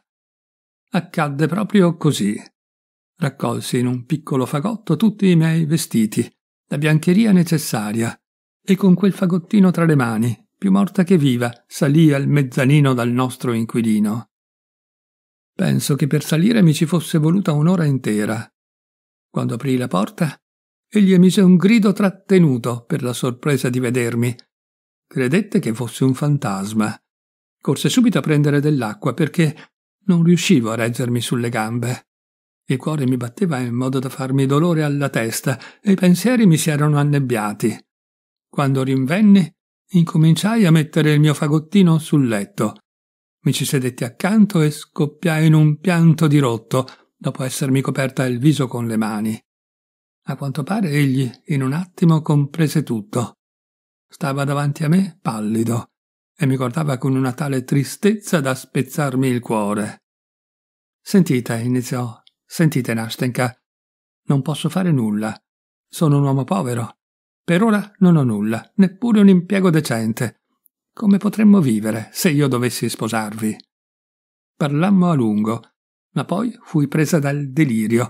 Dissi che non potevo più vivere con la nonna, che sarei scappata, che non volevo che mi si cucisse con uno spillo, e se lui era d'accordo, sarei partita con lui per Mosca, perché senza di lui non potevo più vivere. La vergogna, l'amore e l'orgoglio parlavano in me tutti insieme, e per poco non ebbi un attacco di nervi. Avevo tanta paura di un rifiuto. Per qualche istante rimase in silenzio, poi si alzò, mi si avvicinò e prese la mia mano. Sentite, mia buona Nastenka, cominciò, anch'egli con la voce velata dal pianto. Sentite, vi giuro che se un giorno sarò in grado di sposarmi, sarete solo voi a fare la mia felicità. Vi assicuro che voi sola potete farmi felice. Sentite, parto per Mosca e vi resterò per un anno. Spero di sistemare i miei affari. Quando sarò di ritorno e voi mi amerete ancora, vi giuro che saremo felici. Adesso non è possibile. Io non posso, non ho nessun diritto di promettervi nulla. Ma ripeto, se ciò non avverrà in un anno, Comunque avverrà certamente un giorno. Si capisce nel caso che voi non preferiate un altro, perché io non posso e non oso legarvi con qualche parola. Mi disse queste parole e all'indomani partì. Avevamo deciso di non parlarne alla nonna. Fu un suo desiderio. Ed ecco, ora la mia storia è quasi alla fine. È passato un anno preciso. Egli è tornato. Si trova qui da tre giorni e. e. e allora? esclamai nell'impazienza di sentire la fine. Finora non si è fatto vedere, rispose Nastenka come se dovesse raccogliere le forze. Non ha dato segni di vita. A queste parole si fermò. Restò in silenzio per un istante, chinò la testa e ad un tratto, coprendosi il volto con le mani, cominciò a piangere da spezzarmi il cuore. In nessun modo avrei mai immaginato una conclusione simile. Nastenka, iniziai con voce timida e convincente. Nastenka, per amor di Dio, non piangete. Come l'avete saputo? Forse non è ancora arrivato. È qui, è qui, ribatté Nastenka. Lui è qui, lo so. Avevamo fatto questo patto allora, alla vigilia della sua partenza. Dopo esserci detti tutto ciò che vi ho raccontato, avevamo concluso questo patto, venendo a passeggiare qui, proprio su questo lungo fiume. Erano le dieci. Seduti su questa panchina. Io non piangevo più. Era dolce ascoltare le sue parole. Mi diceva che subito dopo il suo arrivo sarebbe venuto da noi e se non l'avessi rifiutato avremmo detto tutto alla nonna. Ora è ritornato, lo so, e non è venuto. E di nuovo si sciolse in lacrime. Dio mio, ti sarà un modo per aiutarvi nel vostro dolore, esclamai, sobbalzando dalla panchina in preda alla più completa disperazione. Dite, Nastenka, non potrei andare io da lui? Sarebbe forse possibile? disse lei sollevando improvvisamente la testa. No, proprio no, osservai, riconsiderando la situazione. Ecco che cosa c'è da fare. Scrivere una lettera. No, questo non è possibile. Non posso, rispose lei decisa, ma con la testa piegata, senza guardarmi. Come non è possibile? Perché? ripresi, aggrappandomi alla mia idea. Sapete, Nastenka, che lettera va scritta? Tra lettera e lettera ci può essere un abisso e. Ah, Nastenka, è proprio così, credetemi. Credetemi. Non vi darai un consiglio sciocco. Tutto si potrà aggiustare. Siete stata voi a fare il primo passo. Perché non dovreste fare ora? Non è possibile, assolutamente no. Mi sembrerebbe una sopraffazione. Ah, mia buona Nastenka, l'interruppi senza nascondere un sorriso. No, no, voi ne avete il diritto, perché è stato lui a prometterlo. Sì. E poi tutto dimostra che lui è un uomo sensibile. Si è comportato bene. Continuai esaltandomi sempre di più per le mie deduzioni e convinzioni logiche. Come fu il suo comportamento? si legò con una promessa. Disse che ad eccezione di voi non avrebbe sposato nessuna. Ed è a voi che ha lasciato la completa libertà di rifiutarlo, anche subito. In questo caso voi potete fare il primo passo, ne avete il diritto. Avete il vantaggio, se volete, di scioglierlo dalla parola data. Sentite, come avreste scritto voi la lettera? Cosa? Questa lettera? Scriverei così. Gentile signore, è proprio necessario scrivere gentile signore? Assolutamente. Del resto io penso. E come continuare? Gentile signore, scusate se io. No, del resto le scuse non occorrono. Il fatto stesso giustifica tutto. Scrivete semplicemente. Vi scrivo. Scusate la mia impazienza. Per un anno intero sono stata felice nella speranza. Sono forse colpevole se ora non riesco più a sopportare nemmeno un giorno di dubbi? Ora che siete già arrivato, forse avete cambiato le vostre intenzioni. Allora questa lettera vi dirà che non vi servo rancore e non vi biasimo. Non vi biasimo perché non ho potere sul vostro cuore. Tale è il mio destino. Voi siete una persona di nobili sentimenti. Non sorriderete e non vi offenderete per le mie righe impazienti. Ricordate che chi vi scrive è una povera ragazza, sola al mondo, alla quale nessuno ha potuto insegnare nulla, senza consigli, che non ha mai potuto dominare il proprio cuore. Scusatemi dunque se nel mio cuore, anche per un attimo, si è insinuato il dubbio. Voi non siete capace, nemmeno col pensiero, di offendere colei che vi ha tanto amato e vi ama ancora. Sì, proprio così come ho pensato anch'io, esclamò Nastenka, e la gioia brillò nei suoi occhi. Oh, voi avete sciolto i miei dubbi. Mi siete stato mandato da Dio. Vi ringrazio, vi ringrazio. Ma di che cosa? Perché mi ha mandato Dio? Risposi guardando con esaltazione il piccolo viso di lei. Almeno per questo. Oh, Nastenka, non ringraziamo gli altri solo perché vivono insieme a noi. Io vi ringrazio perché ci siamo incontrati, perché vi ricorderò per tutta l'eternità. Basta, basta. Ascoltatemi adesso. Avevamo fatto un patto allora, che subito dopo il suo ritorno mi avrebbe dato sue notizie lasciando una lettera in un luogo concordato, presso miei conoscenti, persone buone semplici che non sapevano nulla di questo. Se invece non fosse riuscito a scrivermi una lettera, perché in una lettera non tutto si può esporre, allora egli sarebbe venuto proprio qui, dove avevamo deciso di incontrarci, nello stesso giorno del suo arrivo, alle dieci esatte. So che è già arrivato, ma è già passato il terzo giorno senza che lui sia venuto e senza una sua lettera.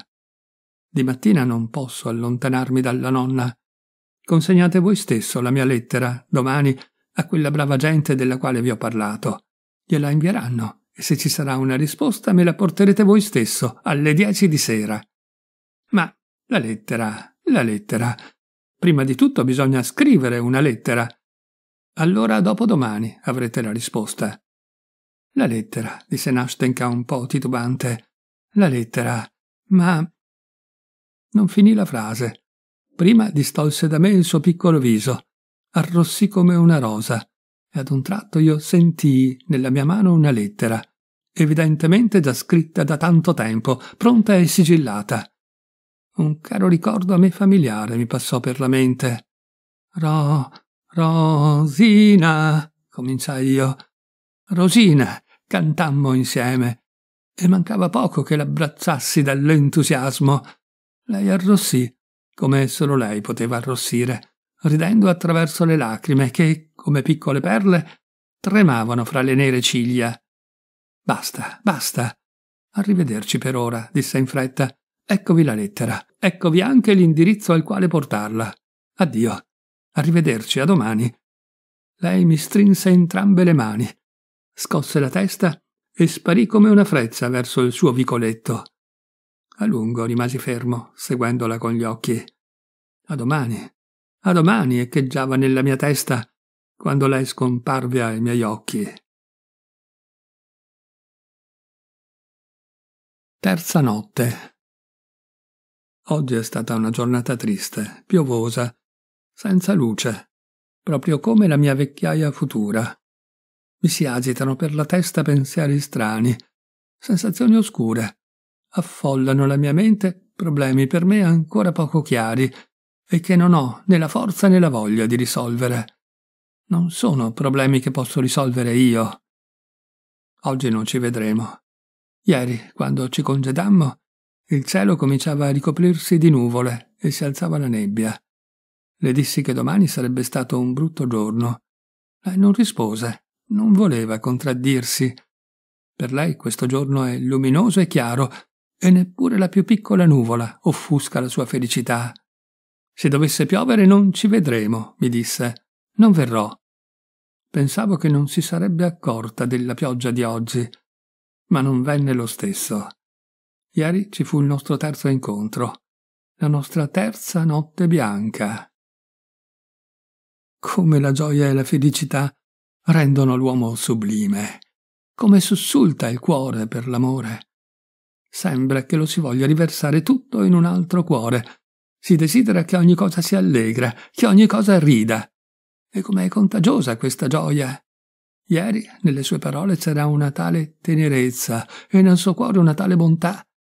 Come si preoccupava per me, come mi adulava, come incoraggiava e inteneriva il mio cuore. Oh, com'era civettuola nella sua felicità. E io, io prendevo tutto per moneta buona Credevo che lei. Ma Dio mio, Come potevo pensare una cosa simile? Come potevo essere tanto cieco quando già un altro aveva preso tutto e niente mi apparteneva? Quando infine la stessa tenerezza, la sua preoccupazione, il suo amore, sì, il suo amore non era nient'altro che la gioia per il prossimo incontro con l'altro, il desiderio di imporre anche a me la sua felicità. Quando egli non venne, quando l'avevamo aspettato invano, lei si accigliò, divenne timida e paurosa. Tutte le sue parole, tutti i suoi movimenti non erano più così spontanei, colmi di quella gaia allegria. E, cosa strana, raddoppiò la sua attenzione nei miei confronti, come se istintivamente desiderasse riversare su di me i suoi desideri, la sua paura, che tutte le sue aspettative non si potessero realizzare. La mia Nastenka diventò così timida e così impaurita. Sembrava aver capito il mio amore ed essersi impietosita per questo mio povero sentimento. Quanto più siamo infelici, tanto più profondamente sentiamo l'infelicità degli altri. Il sentimento non si frantuma, ma si concentra. Arrivai da lei con il cuore stracolmo e a malapena riuscii ad aspettare il nostro incontro. Non avevo previsto quello che avrei sentito ora. Non avevo previsto che tutto sarebbe finito in quel modo. Lei splendeva per la gioia. Aspettava la risposta. La risposta era lui stesso. Egli avrebbe dovuto venire, accorrere alla sua chiamata. Nastenka arrivò un'ora prima di me. All'inizio rideva per ogni mia parola. Incominciai a parlare, ma poi tacqui. Sapete perché sono così contenta, disse, così contenta di vedervi? Sapete perché oggi vi amo tanto? Allora, domandai, e il mio cuore trasalì. Io vi amo perché non siete innamorato di me. Un altro al vostro posto avrebbe cominciato a inquietarmi, a importunarmi, si sarebbe lasciato andare ai sospiri, ammalandosi, e voi invece siete così caro. E qui lei mi strinse la mano con tale forza che per poco non gridai. Scoppiò in una risata. Dio mio, che amico siete, continuò lei dopo un attimo, con un'aria tutta seria. Dio stesso vi ha mandato. Che cosa farei ora se non mi foste vicino? Come siete altruista, come sapete amarmi. Quando un giorno sarò sposata, vivremo in grande amicizia più grande di quella dei fratelli. Vi amerò quasi come lui. In quel momento mi sentii preso da una terribile angoscia. Tuttavia, qualcosa che assomigliava a uno scoppio di risa fremette nel mio animo. Voi siete agitata, le dissi. Avete paura. Credete che non verrà. Dio vi benedica, rispose. Se io fossi meno felice, forse mi metterei a piangere per la vostra sfiducia, per i vostri rimproveri. Del resto, voi mi avete fatto scaturire un'idea e mi avete fatto pensare molto. Su alcune cose mediterò più tardi, ma ora vi confido che avete detto la verità. Sì, non sono più la stessa. Sono completamente presa dall'attesa e sento tutto in modo troppo superficiale. Ma basta, non parliamo più dei sentimenti. In quel momento si sentirono dei passi e nel buio apparve un passante che ci veniva incontro. Trasalimmo tutti e due e poco mancò che lei si mettesse a gridare. Lasciai andare la sua mano e fece un gesto per andar via. Ma c'eravamo ingannati. Non era lui. Che cosa temete? Perché avete lasciato la mia mano? disse lei, offrendomela di nuovo. E allora? Gli andremo incontro insieme. Voglio che veda che ci amiamo. Come ci amiamo? esclamai io. Oh, Nastenka, Nastenka, pensavo. Quante cose hai detto con questa parola. Per un amore simile, in un'ora diversa, il cuore si raggela e l'angoscia pesa sull'anima. La tua mano è fredda, la mia brucia come il fuoco. Come sei cieca, Nastenka. Oh, com'è insopportabile un uomo felice in certi momenti. Ma io non potevo arrabbiarmi con te. Infine il mio cuore traboccò. Sentite, Nastenka, esclamai, Sapete che cosa ho fatto tutto il giorno? Presto, dite, che cosa avete fatto? Perché finora avete taciuto? In primo luogo, Nastenka, dopo aver eseguito tutti i vostri ordini, dopo aver consegnato la lettera ed essere passato dai vostri buoni conoscenti, sono tornato a casa e mi sono messo a dormire. Nient'altro? mi interruppe ridendo. Sì, solo questo, risposi a malincuore, mentre delle sciocche lacrime mi spuntavano agli occhi. Mi sono svegliato un'ora prima del nostro incontro come se non avessi dormito affatto. Non so che cosa avessi. Sono venuto da voi per raccontarvi tutto questo, come se il tempo si fosse fermato, come se una sensazione sola, un sentimento solo dovesse restare in me per sempre, come se un attimo solo dovesse continuare in eterno e tutta la vita si fosse letteralmente fermata per me. Quando mi sono svegliato, mi sembrava di ricordare un motivo musicale, da tempo familiare, sentito una volta non so dove, e poi dimenticato, dalle note dolci. Mi sembrava che tutta la vita volesse sgorgarmi dall'anima, e solo ora. Oh, Dio mio! Dio mio, interruppe Nastenka, che cosa vuol dire tutto questo? Non capisco nemmeno una parola.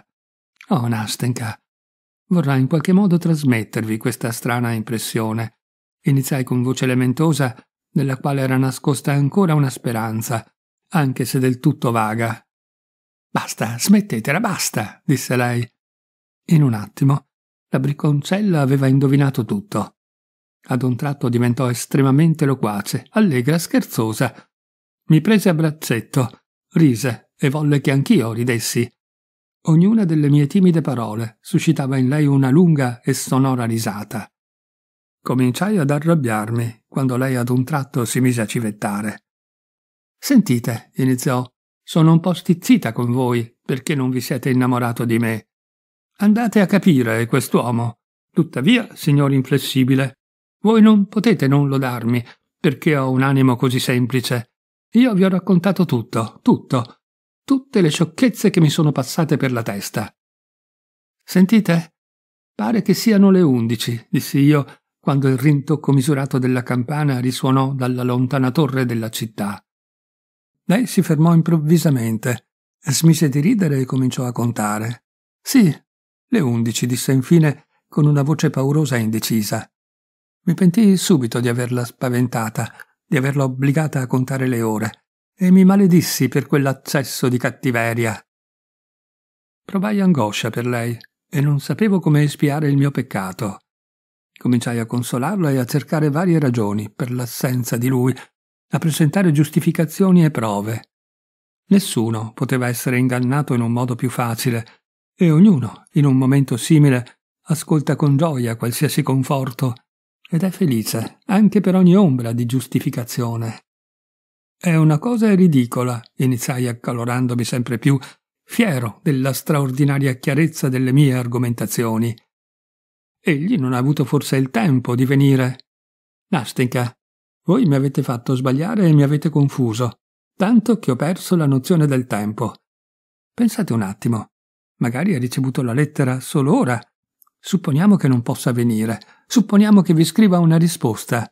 In tal caso la lettera non vi arriverebbe prima di domani. Andrò io domani a prenderla, appena farà giorno, e vi farò sapere subito qualcosa. Infine, dovete supporre mille possibilità. Forse non era nemmeno a casa quando è arrivata la lettera, e finora non è riuscito a leggerla. Tutto ciò può accadere. Sì, sì, rispose Nastenka, non ci avevo pensato.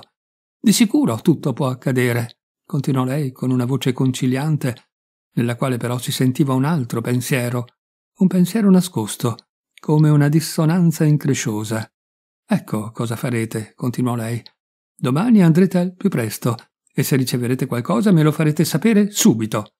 Voi sapete dove abito. E cominciò a ripetermi il suo indirizzo.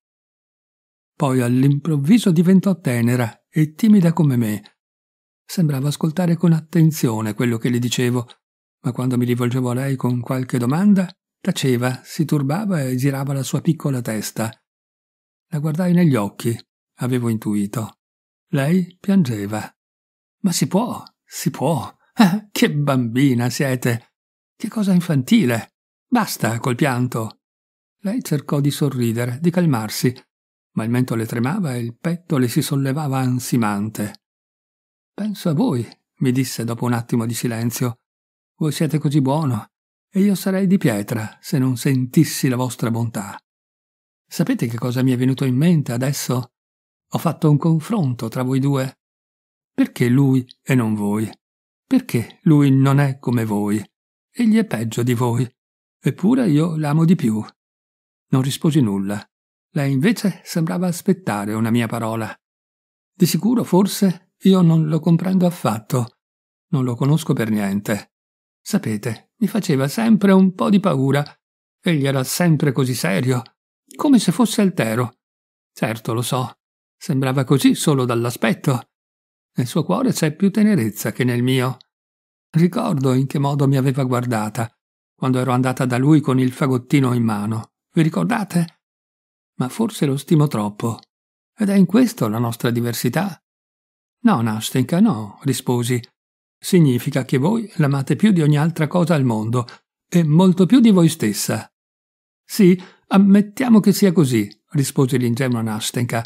Ma sapete che cosa mi è venuto in mente ora? Solo che adesso non parlerò di lui, ma in generale. È già da tempo che ci penso. Perché non siamo tutti come fratelli? Perché perfino l'uomo migliore sembra sempre nascondere qualcosa all'altro o tace? Perché non dire subito con sincerità quello che si ha nel cuore, quando si sa che la tua parola non sarà gettata al vento? E così ognuno di noi sembra più severo di quanto non sia in realtà, come se temesse di offendere i propri sentimenti, dichiarandoli in anticipo. Ah, Nastenka, voi dite il vero? Questo succede per molte ragioni, aggiunsi. In quel momento, più che mai, soffocavo i miei veri sentimenti. No, no, rispose lei con profonda partecipazione. Voi, ad esempio, non siete come gli altri. Io, a dire il vero, non so come raccontarvi ciò che sento, ma mi sembra che voi, ad esempio, almeno ora, mi sembra che sentiate qualcosa per me aggiunse con timidezza guardandomi di sfuggita. Dovete scusarmi se vi parlo in questo modo. Sono una ragazza semplice. Ho visto poco di questo mondo e a volte non sono in grado di esprimermi, aggiunse con una voce che tremava per un sentimento nascosto, cercando intanto di sorridere. Ma io volevo solo dirvi quanto vi sono grata e che anch'io provo tutto ciò. Oh, che Dio vi dia per questo la felicità. Ciò che mi diceste allora, raccontando del vostro sognatore, non è per niente vero, cioè, volevo dire, non vi riguarda affatto. Voi guarirete. Voi siete un uomo completamente diverso da quello che mi avete descritto. Se un giorno vi innamorerete, che Dio vi dia la felicità insieme alla donna del vostro cuore. A lei non auguro nulla, perché lei sarà felice con voi. Lo so, perché anch'io sono una donna e se vi parlo così dovete credermi. Si fermò e mi strinse con forza la mano. Nemmeno io potevo parlare per l'agitazione. Passarono alcuni minuti. Sì, oggi non verrà di sicuro, disse infine, alzando la testa. È tardi. Verrà domani, dissi io con voce più convincente e più forte. Sì, aggiunse facendosi tutta allegra. Mi rendo conto che verrà solo domani. Arrivederci allora, a domani. Se dovesse piovere non verrò. Ma dopodomani verrò, immancabilmente verrò, a qualsiasi costo. Dovete assolutamente venire. Vi voglio vedere, vi racconterò tutto.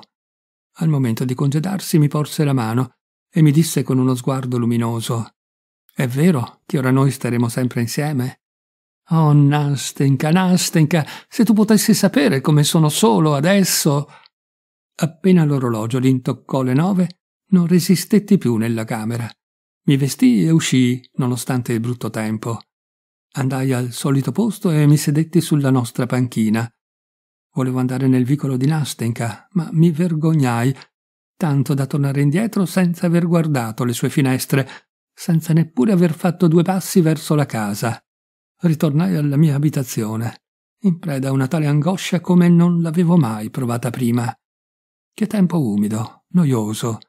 Se il tempo fosse stato bello, avrei passeggiato là tutta la notte. Ma a domani, a domani. Domani lei mi racconterà tutto. Tuttavia, oggi non è arrivata nessuna lettera. Del resto, è giusto che sia così. Essi sono già insieme.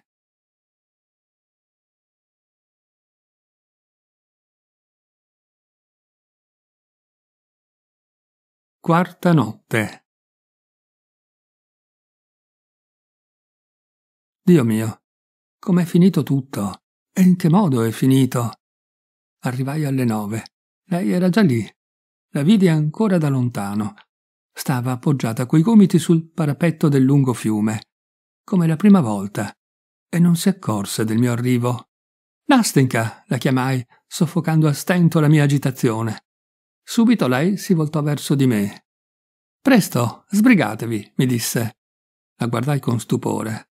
Allora, dov'è la lettera? L'avete portata? ripeté, tenendosi con una mano al parapetto. No, non porto nessuna lettera, riuscì a dire infine. Ma lui non è ancora arrivato. Diventò terribilmente pallida e mi guardò a lungo, immobile. Avevo spezzato la sua ultima speranza. Ebbene, che Dio sia con lui, disse con un filo di voce. Che Dio sia con lui, dal momento che mi abbandona così. Abbassò gli occhi, poi voleva guardarmi, senza riuscirci. Ancora per qualche minuto cercò di dominare il suo turbamento, ma ad un tratto si girò e appoggiandosi al parapetto del lungo fiume, scoppiò in un pianto dirotto. Basta, basta, cominciai, ma non ebbi la forza di continuare, guardandola. Che cosa avrei potuto dirle?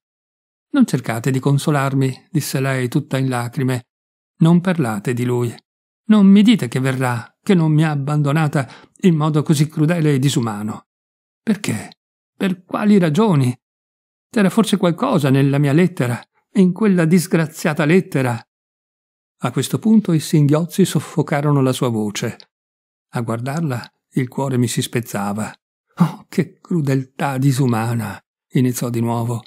E nemmeno una riga, una riga. Avesse scritto almeno una risposta, che non ha bisogno di me, che mi ripudia. Invece nemmeno una riga, in tre giorni. Con che facilità offende, umilia una povera ragazza senza difesa, che è colpevole solo del suo amore per lui. Oh, quanto ho sofferto in questi tre giorni, Dio mio, Dio mio, quando ricordo come sono andata da lui sola per la prima volta e che mi sono umiliata, ho pianto supplicando da lui un briciolo d'amore. E dopo questo? Sentite, disse rivolta a me, e i suoi occhi neri si misero a brillare. Non è forse così? Non può essere così. È contro natura? O io o voi ci siamo ingannati. Forse non sa ancora niente. Com'è possibile? Giudicate voi. Ditemelo, per carità di Dio, spiegatemelo. Io non capisco come ci si possa comportare con tale barbarie e con tale volgarità nei confronti di una ragazza. Nemmeno una parola. Persino con l'ultimo dei derelitti si è più caritatevoli. Forse ha sentito dire qualcosa. Forse qualcuno mi ha calunniata davanti a lui. Si rivolse a me con la domanda ad alta voce: Che cosa ne pensate? Sentite, Nastenka, andrò domani da lui, a vostro nome, e dopo lo interrogherò su tutto, gli racconterò tutto. E dopo voi scriverete una lettera. Non rispondete di no, Nastenka, vi prego. L'obbligherò a non disdegnare il vostro comportamento. Gli farò sapere tutto, e se... No, amico mio, no, mi interruppe. Basta. Nemmeno una parola né una riga da me. Basta. Io non lo conosco. Io non l'amo più. Io lo dimenticherò. Nastenka non finì il discorso. Calmatevi, calmatevi. Sedete qui, Nastenka, dissi io, facendola sedere su una panchina. Ma io sono tranquilla. Basta. È così. Queste sono lacrime e si asciugheranno. Pensate che mi rovini? Che mi anneghi? Mi si spezzava il cuore. Avrei voluto dire qualcosa, ma non riuscii. Sentite, continuò il discorso prendendomi per mano. Ditemi, voi non vi sareste comportato così? Voi non avreste deriso spudoratamente, per il suo debole e sciocco cuore, la donna che fosse venuta da voi? L'avreste magari protetta? Avreste immaginato che lei era sola e non sapeva essere abbastanza prudente né salvarsi dal proprio amore per voi, che non era colpevole proprio per niente, che in fondo non aveva fatto nulla. Oh Dio mio, Dio mio! Nastenka! esclamai, non avendo più la forza di dominare il mio turbamento. Nastenka! Voi mi straziate. Voi deridete il mio cuore, voi mi uccidete, Nastenka. Non posso tacere. Infine devo dirvi, confessare ciò che mi ribolle qui, nel cuore. Dicendo questo mi alzai dalla panchina. Lei mi prese la mano e mi guardò con stupore. Che cosa avete? mi domandò dopo un attimo di silenzio. Sentite, dissi in tono deciso. Sentite, Nastenka. Ciò che vi dirò adesso sono tutte sciocchezze, castelli in aria, cose assurde. So che non potranno mai accadere, ma è lo stesso. Non posso tacere. In nome delle vostre sofferenze, vi prego in anticipo di perdonarmi. Che cosa? Che cosa? domandò lei, smettendo di piangere e guardandomi con attenzione. Una strana curiosità brillava nei suoi occhi meravigliati. Che cosa vi accade? È un castello in aria, ma io vi amo, Nastenka. Ecco, adesso ho detto tutto, dichiarai agitando le mani. Ora considerate voi stessa se potete parlare con me come avete parlato poco fa, se potete ascoltare ciò che vi dirò. Che cosa? Che cosa? mi interruppe Nastenka. Che cosa vuol dire questo? Sì, lo sapevo da tempo che voi mi amate, ma mi sembrava che voi mi amaste semplicemente così. Ah, Dio mio! Dio mio! In principio fu così facile, Nastenka.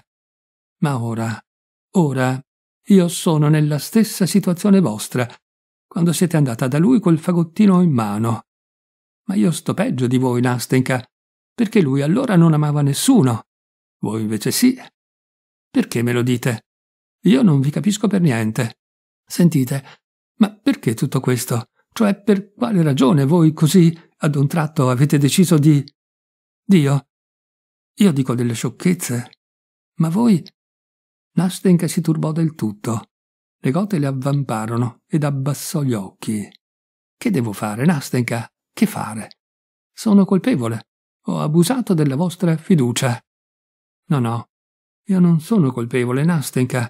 Lo sento, perché il mio cuore mi dà ragione, perché io non vi posso offendere, non vi posso umiliare in nessun modo.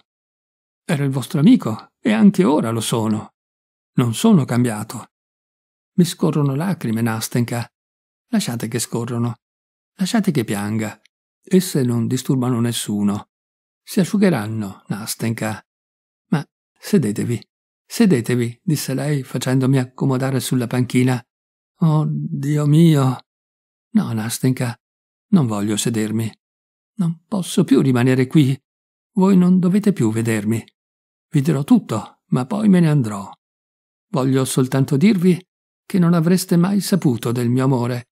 Avrei mantenuto il mio segreto. Ma starei ora in questo momento a tormentarvi con il mio egoismo. No, ma non sono riuscito a trattenermi. Voi stessa avete toccato l'argomento prima di me. Siete colpevole voi e non io. Non mi potete scacciare. No, no, io non vi scaccio, disse Nastenka, nascondendo come poteva la propria agitazione. Poveretta. Voi non mi scacciate? No, lo stesso avrei voluto fuggire lontano da voi. Me ne andrò, ma vi dirò tutto dall'inizio perché quando voi avete parlato io non sono riuscito a rimanere seduto. Quando avete pianto, quando avete sofferto, a causa, lo chiamerò con il proprio nome, Nastenka, a causa del suo rifiuto, del vostro amore respinto, ho avvertito, ho sentito nel mio cuore un tale amore per voi, Nastenka, un tale amore. E mi sentivo così amareggiato perché non ero in grado di aiutarvi con questo amore da farmi spezzare il cuore. E io io non ho potuto tacere, ho dovuto parlare, Nastenka, ho dovuto parlare. Sì, sì, parlatemi, parlatemi così, disse Nastenka con un gesto vago. Magari vi sembrerà strano che io vi parli così, ma raccontate tutto. Io vi dirò poi, vi racconterò tutto poi. Voi avete compassione di me, Nastenka. Semplicemente compassione, mia piccola amica. Quel che è stato è stato. Ciò che hai detto non torna indietro. Non è così? Ora sapete tutto. Questo è un momento decisivo. Bene. Adesso tutto questo è stupendo, ma ascoltatemi. Quando voi stavate seduta lì e piangevate, pensavo, lasciate che vi dica ciò che ho pensato. Pensavo che, ma questo non potrà accadere mai, Nastenka. Ho pensato che voi, ho pensato in modo del tutto astratto che voi non lo amaste più. In quel caso, lo pensavo ieri e l'altro ieri, Nastenka, avrei detto certamente di tutto perché voi mi poteste amare. L'avete fatto. Voi stessa avete detto che eravate quasi sul punto di innamorarvi di me. Che cosa ancora? Che cosa ancora? Vi ho detto quasi tutto ciò che volevo dire.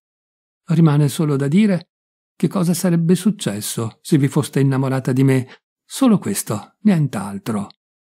Ascoltate allora, amica mia, visto che siete la mia amica. Io sono un uomo semplice, povero, insignificante, ma questo non c'entra. Mi sembra di non dire cose giuste, ma sono troppo turbato, Nastenka. Io vi amerei in modo tale che anche se voi lo amaste ancora e continuaste ad amare colui che io non conosco, il mio amore non vi peserebbe affatto.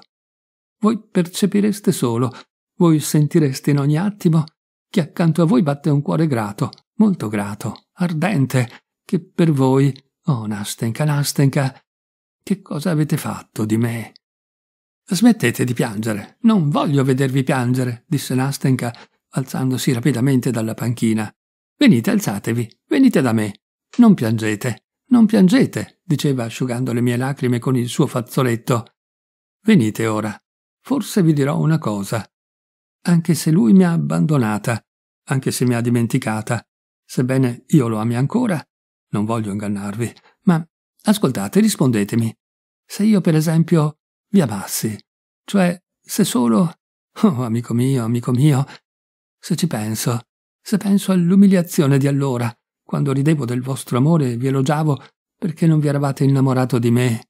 Dio mio, come non prevederlo? Sì, proprio prevederlo. Come sono stata stupida. Ma, insomma, mi sono decisa, vi dirò tutto. Ascoltate, Nastenka. Sapete che cosa? Andrò via da voi. Ecco cosa farò. Io vi tormento soltanto. Voi sentite ora i rimorsi di coscienza per i vostri scherzi. Ma io non voglio, sì, non voglio che oltre al vostro dolore sono io il colpevole, Nastenka. Addio. Fermatevi, ascoltatemi. Potete aspettare. Aspettare che cosa? Io lo amo. Ma questo passerà. Deve passare. Questo non può non passare. Sento che già sta passando. Chissà, magari tutto finirà oggi stesso perché io lo odio, perché lui mi ha presa in giro, proprio quando voi qui piangevate con me, perché voi non mi avreste abbandonata come lui, perché voi mi amate e lui no, perché io in fondo vi amo, sì, vi amo. Vi amo come mi amate voi. Io, io stessa ve l'ho detto prima, e voi l'avete sentito. Vi amo perché siete migliore di lui, avete un cuore più nobile, perché... perché lui il turbamento della povera ragazza era così grande che non riuscì a finire la frase. Appoggiò la testa sulla mia spalla, poi sul petto, e scoppiò in un pianto dirotto. La consolavo con le parole, ma lei non smise di piangere. Mi stringeva la mano e diceva tra un singhiozzo e l'altro Aspettate, aspettate. Smetterò subito. Io vi voglio dire, non dovete pensare che queste lacrime Sono così per debolezza. Aspettate che passi. Infine smise di piangere, si asciugò le lacrime e riprendemmo a passeggiare. Avrei voluto parlare, ma lei mi pregò di aspettare. Tacevamo entrambi. Infine si fece coraggio e cominciò a parlare.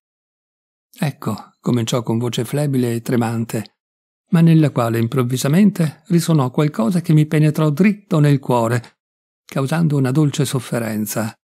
Non dovete pensare, del resto, che io sia così incostante e capricciosa che lo possa dimenticare con tanta facilità, né che possa tradire così presto. L'ho amato per tutto un anno, e giuro davanti a Dio che non gli sono stata mai infedele, nemmeno con il pensiero. Mi ha disprezzata, mi ha presa in giro, che Dio lo perdoni. Ha mortificato il mio cuore. Io non lo amo, perché io posso amare solo colui che è generoso, che mi comprende, che ha sentimenti nobili, perché io stessa sono così, e lui non è degno di me. Che Dio lo perdoni pure. Meglio che sia successo così. La mia delusione sarebbe stata più grave se mi fossi ingannata nelle mie attese e avessi capito poi chi era in realtà. Sì, di sicuro. Perché, sapete, mio buon amico, continuò lei stringendomi la mano, forse tutto il mio amore non era nient'altro che un inganno dei sentimenti, dell'immaginazione, cominciato forse come uno scherzo, come una futilità, per il semplice fatto che mi trovavo sotto la sorveglianza della nonna. Forse avrei dovuto amare un altro al suo posto, non un uomo così, un uomo che avrebbe avuto pietà di me. E... ma lasciamo perdere si interruppe Nashenka con il respiro mozzato per l'agitazione.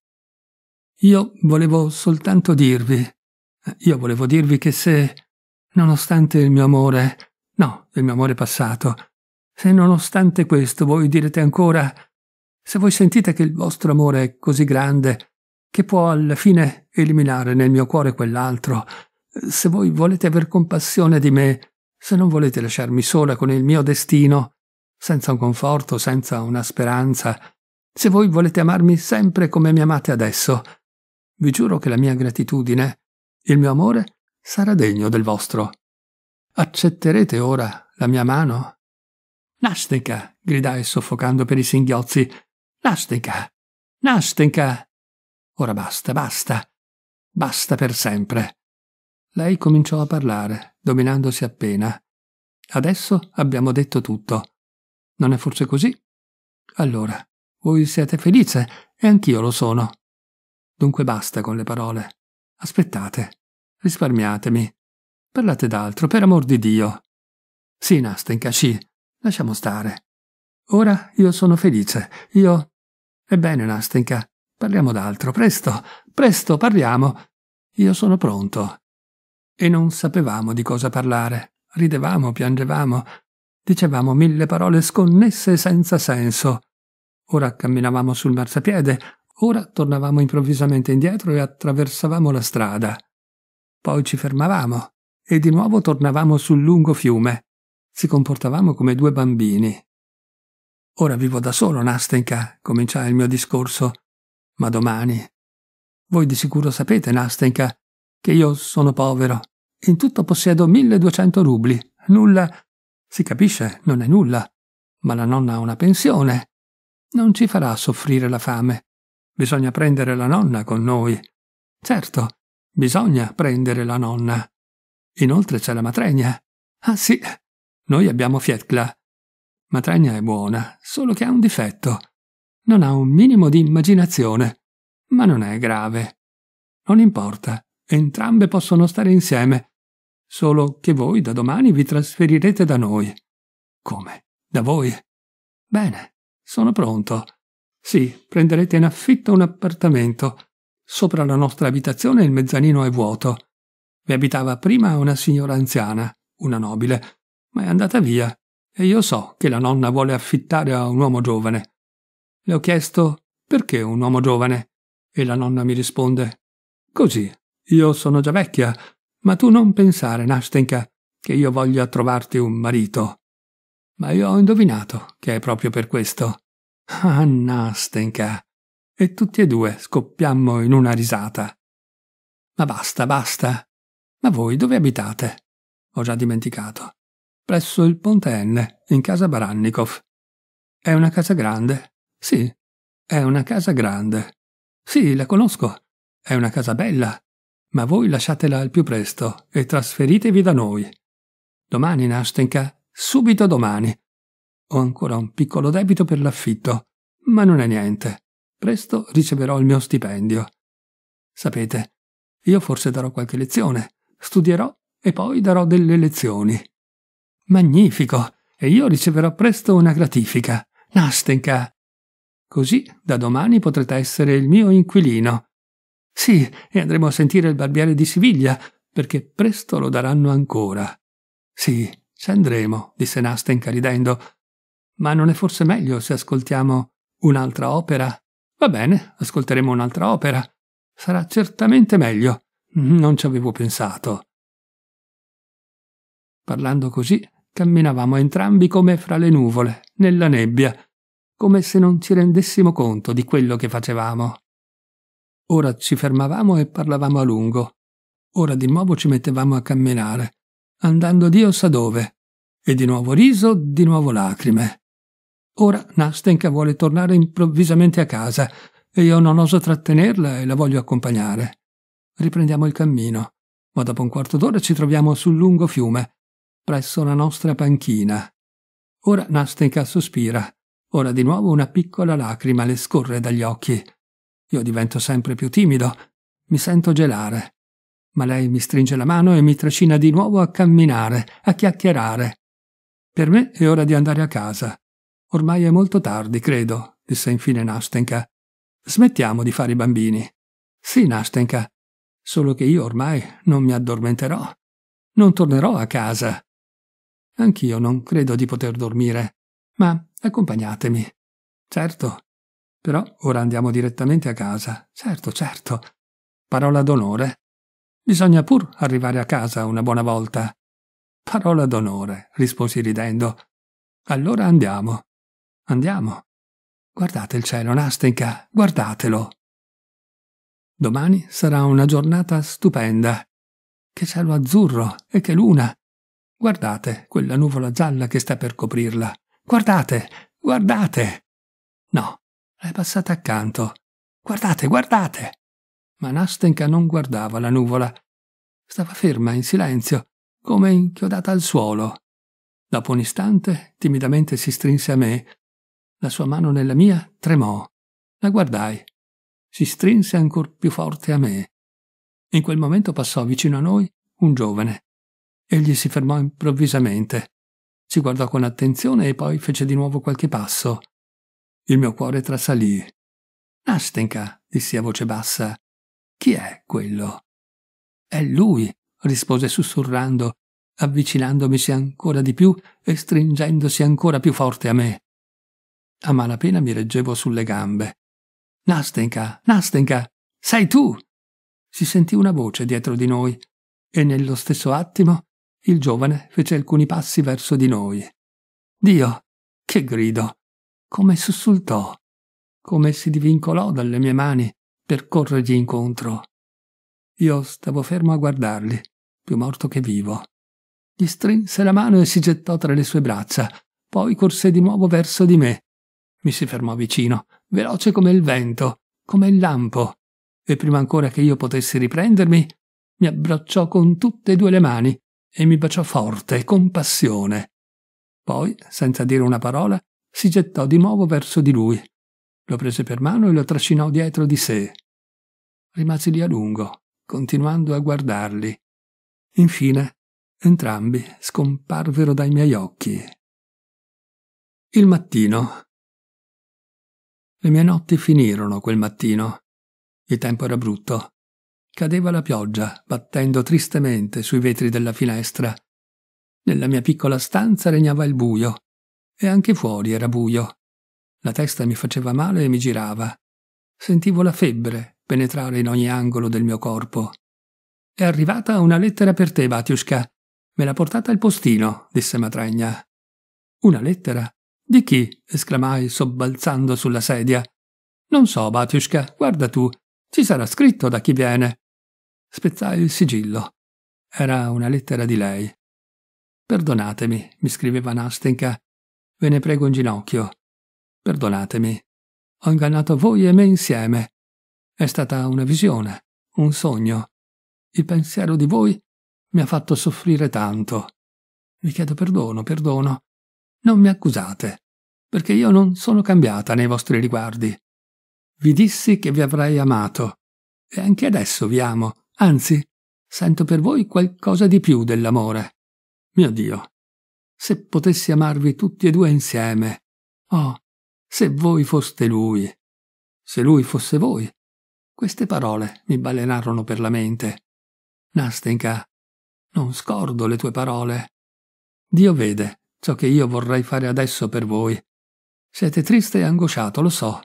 Vi ho umiliato. Ma voi sapete che chi ama non ricorda a lungo le offese. E voi mi amate. Vi ringrazio, sì, vi ringrazio per questo amore, perché nella mia memoria si è impresso come un dolce sogno che ricordo a lungo dopo il risveglio. Ricorderò per sempre il momento in cui, come un fratello, mi avete aperto il vostro cuore e avete accettato in dono il mio, mortificato, per proteggerlo, accarezzarlo, guarirlo. Se mi perdonerete, il vostro ricordo sarà reso sublime in me dall'eterno sentimento di gratitudine verso di voi che non potrà mai essere cancellato dalla mia anima. Io custodirò questa memoria, le sarò fedele, non la tradirò. Non tradirò il mio cuore. Esso è troppo costante. Ieri è tornato così in fretta a colui al quale già apparteneva. Ci rivedremo. Voi verrete da noi, non ci abbandonerete. Sarete per sempre il mio amico, il mio fratello. Quando ci vedremo mi tenderete la mano, vero? Me la darete? Mi perdonerete, è vero? Mi amerete come prima? Oh, amatemi, non mi abbandonate, perché io vi amo, così, in questo momento, e perché sono degna del vostro amore. Lo meriterò, amico mio caro. La settimana prossima lo sposerò. Egli è tornato innamorato. Non mi aveva mai dimenticata. Non vi arrabbiate se vi ho scritto di lui. Voglio venire da voi, con lui. È vero che gli vorrete bene? Perdonate, ricordate e amate la vostra Nastenka. Lessi e rilessi questa lettera molte volte. Gli occhi mi si riempirono di lacrime. Infine, la lettera mi cadde dalle mani e io mi coprì il volto. Caro mio, cominciò Matragna, che c'è, vecchia? Ho tolto tutte le ragnatele dal soffitto. Adesso potresti anche sposarti, invitare qualcuno. È ora. Guardai Matregna. Fino ad allora era stata ancora una robusta giovane vecchia.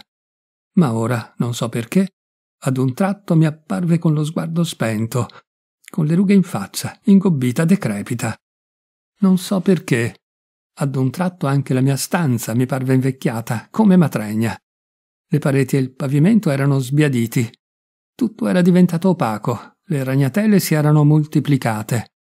Non so perché, quando guardai fuori dalla finestra, mi sembrò che anche la casa di fronte fosse decrepita e scolorita, che gli stucchi sulle colonne si fossero sgretolati e si staccassero, che i cornicioni fossero anneriti e pieni di crepe, che le pareti dal vivace colore giallo scuro fossero tutte chiazzate.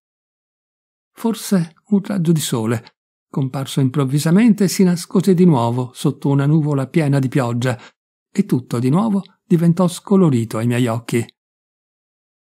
Forse era balenata davanti a me, così inospitale e triste, la prospettiva del mio futuro, e io mi vidi con l'aspetto che avrò tra quindici anni, invecchiato nella stessa camera, solo come ora, sempre con Matregna, che di sicuro non sarà diventata più intelligente. Non pensare, Nastenka, che io ricordi la mia umiliazione, né che voglia oscurare la tua serena e calma felicità con una nube scura. Non pensare che voglia rattristare il tuo cuore con amari rimproveri, che voglia addolorarlo con un rimorso segreto, che voglia renderlo melanconico nel momento della tua beatitudine, che voglia strappare uno solo di quei teneri fiori che tu hai intrecciato tra i tuoi riccioli neri, quando insieme a lui sei andata all'altare. Oh, mai, mai. Che il tuo cielo sia sereno, che il tuo sorriso sia luminoso e calmo. Sii benedetta per quell'attimo di beatitudine e di felicità che hai donato ad un altro cuore, solo, riconoscente. Dio mio, un minuto intero di beatitudine. È forse poco per colmare tutta la vita di un uomo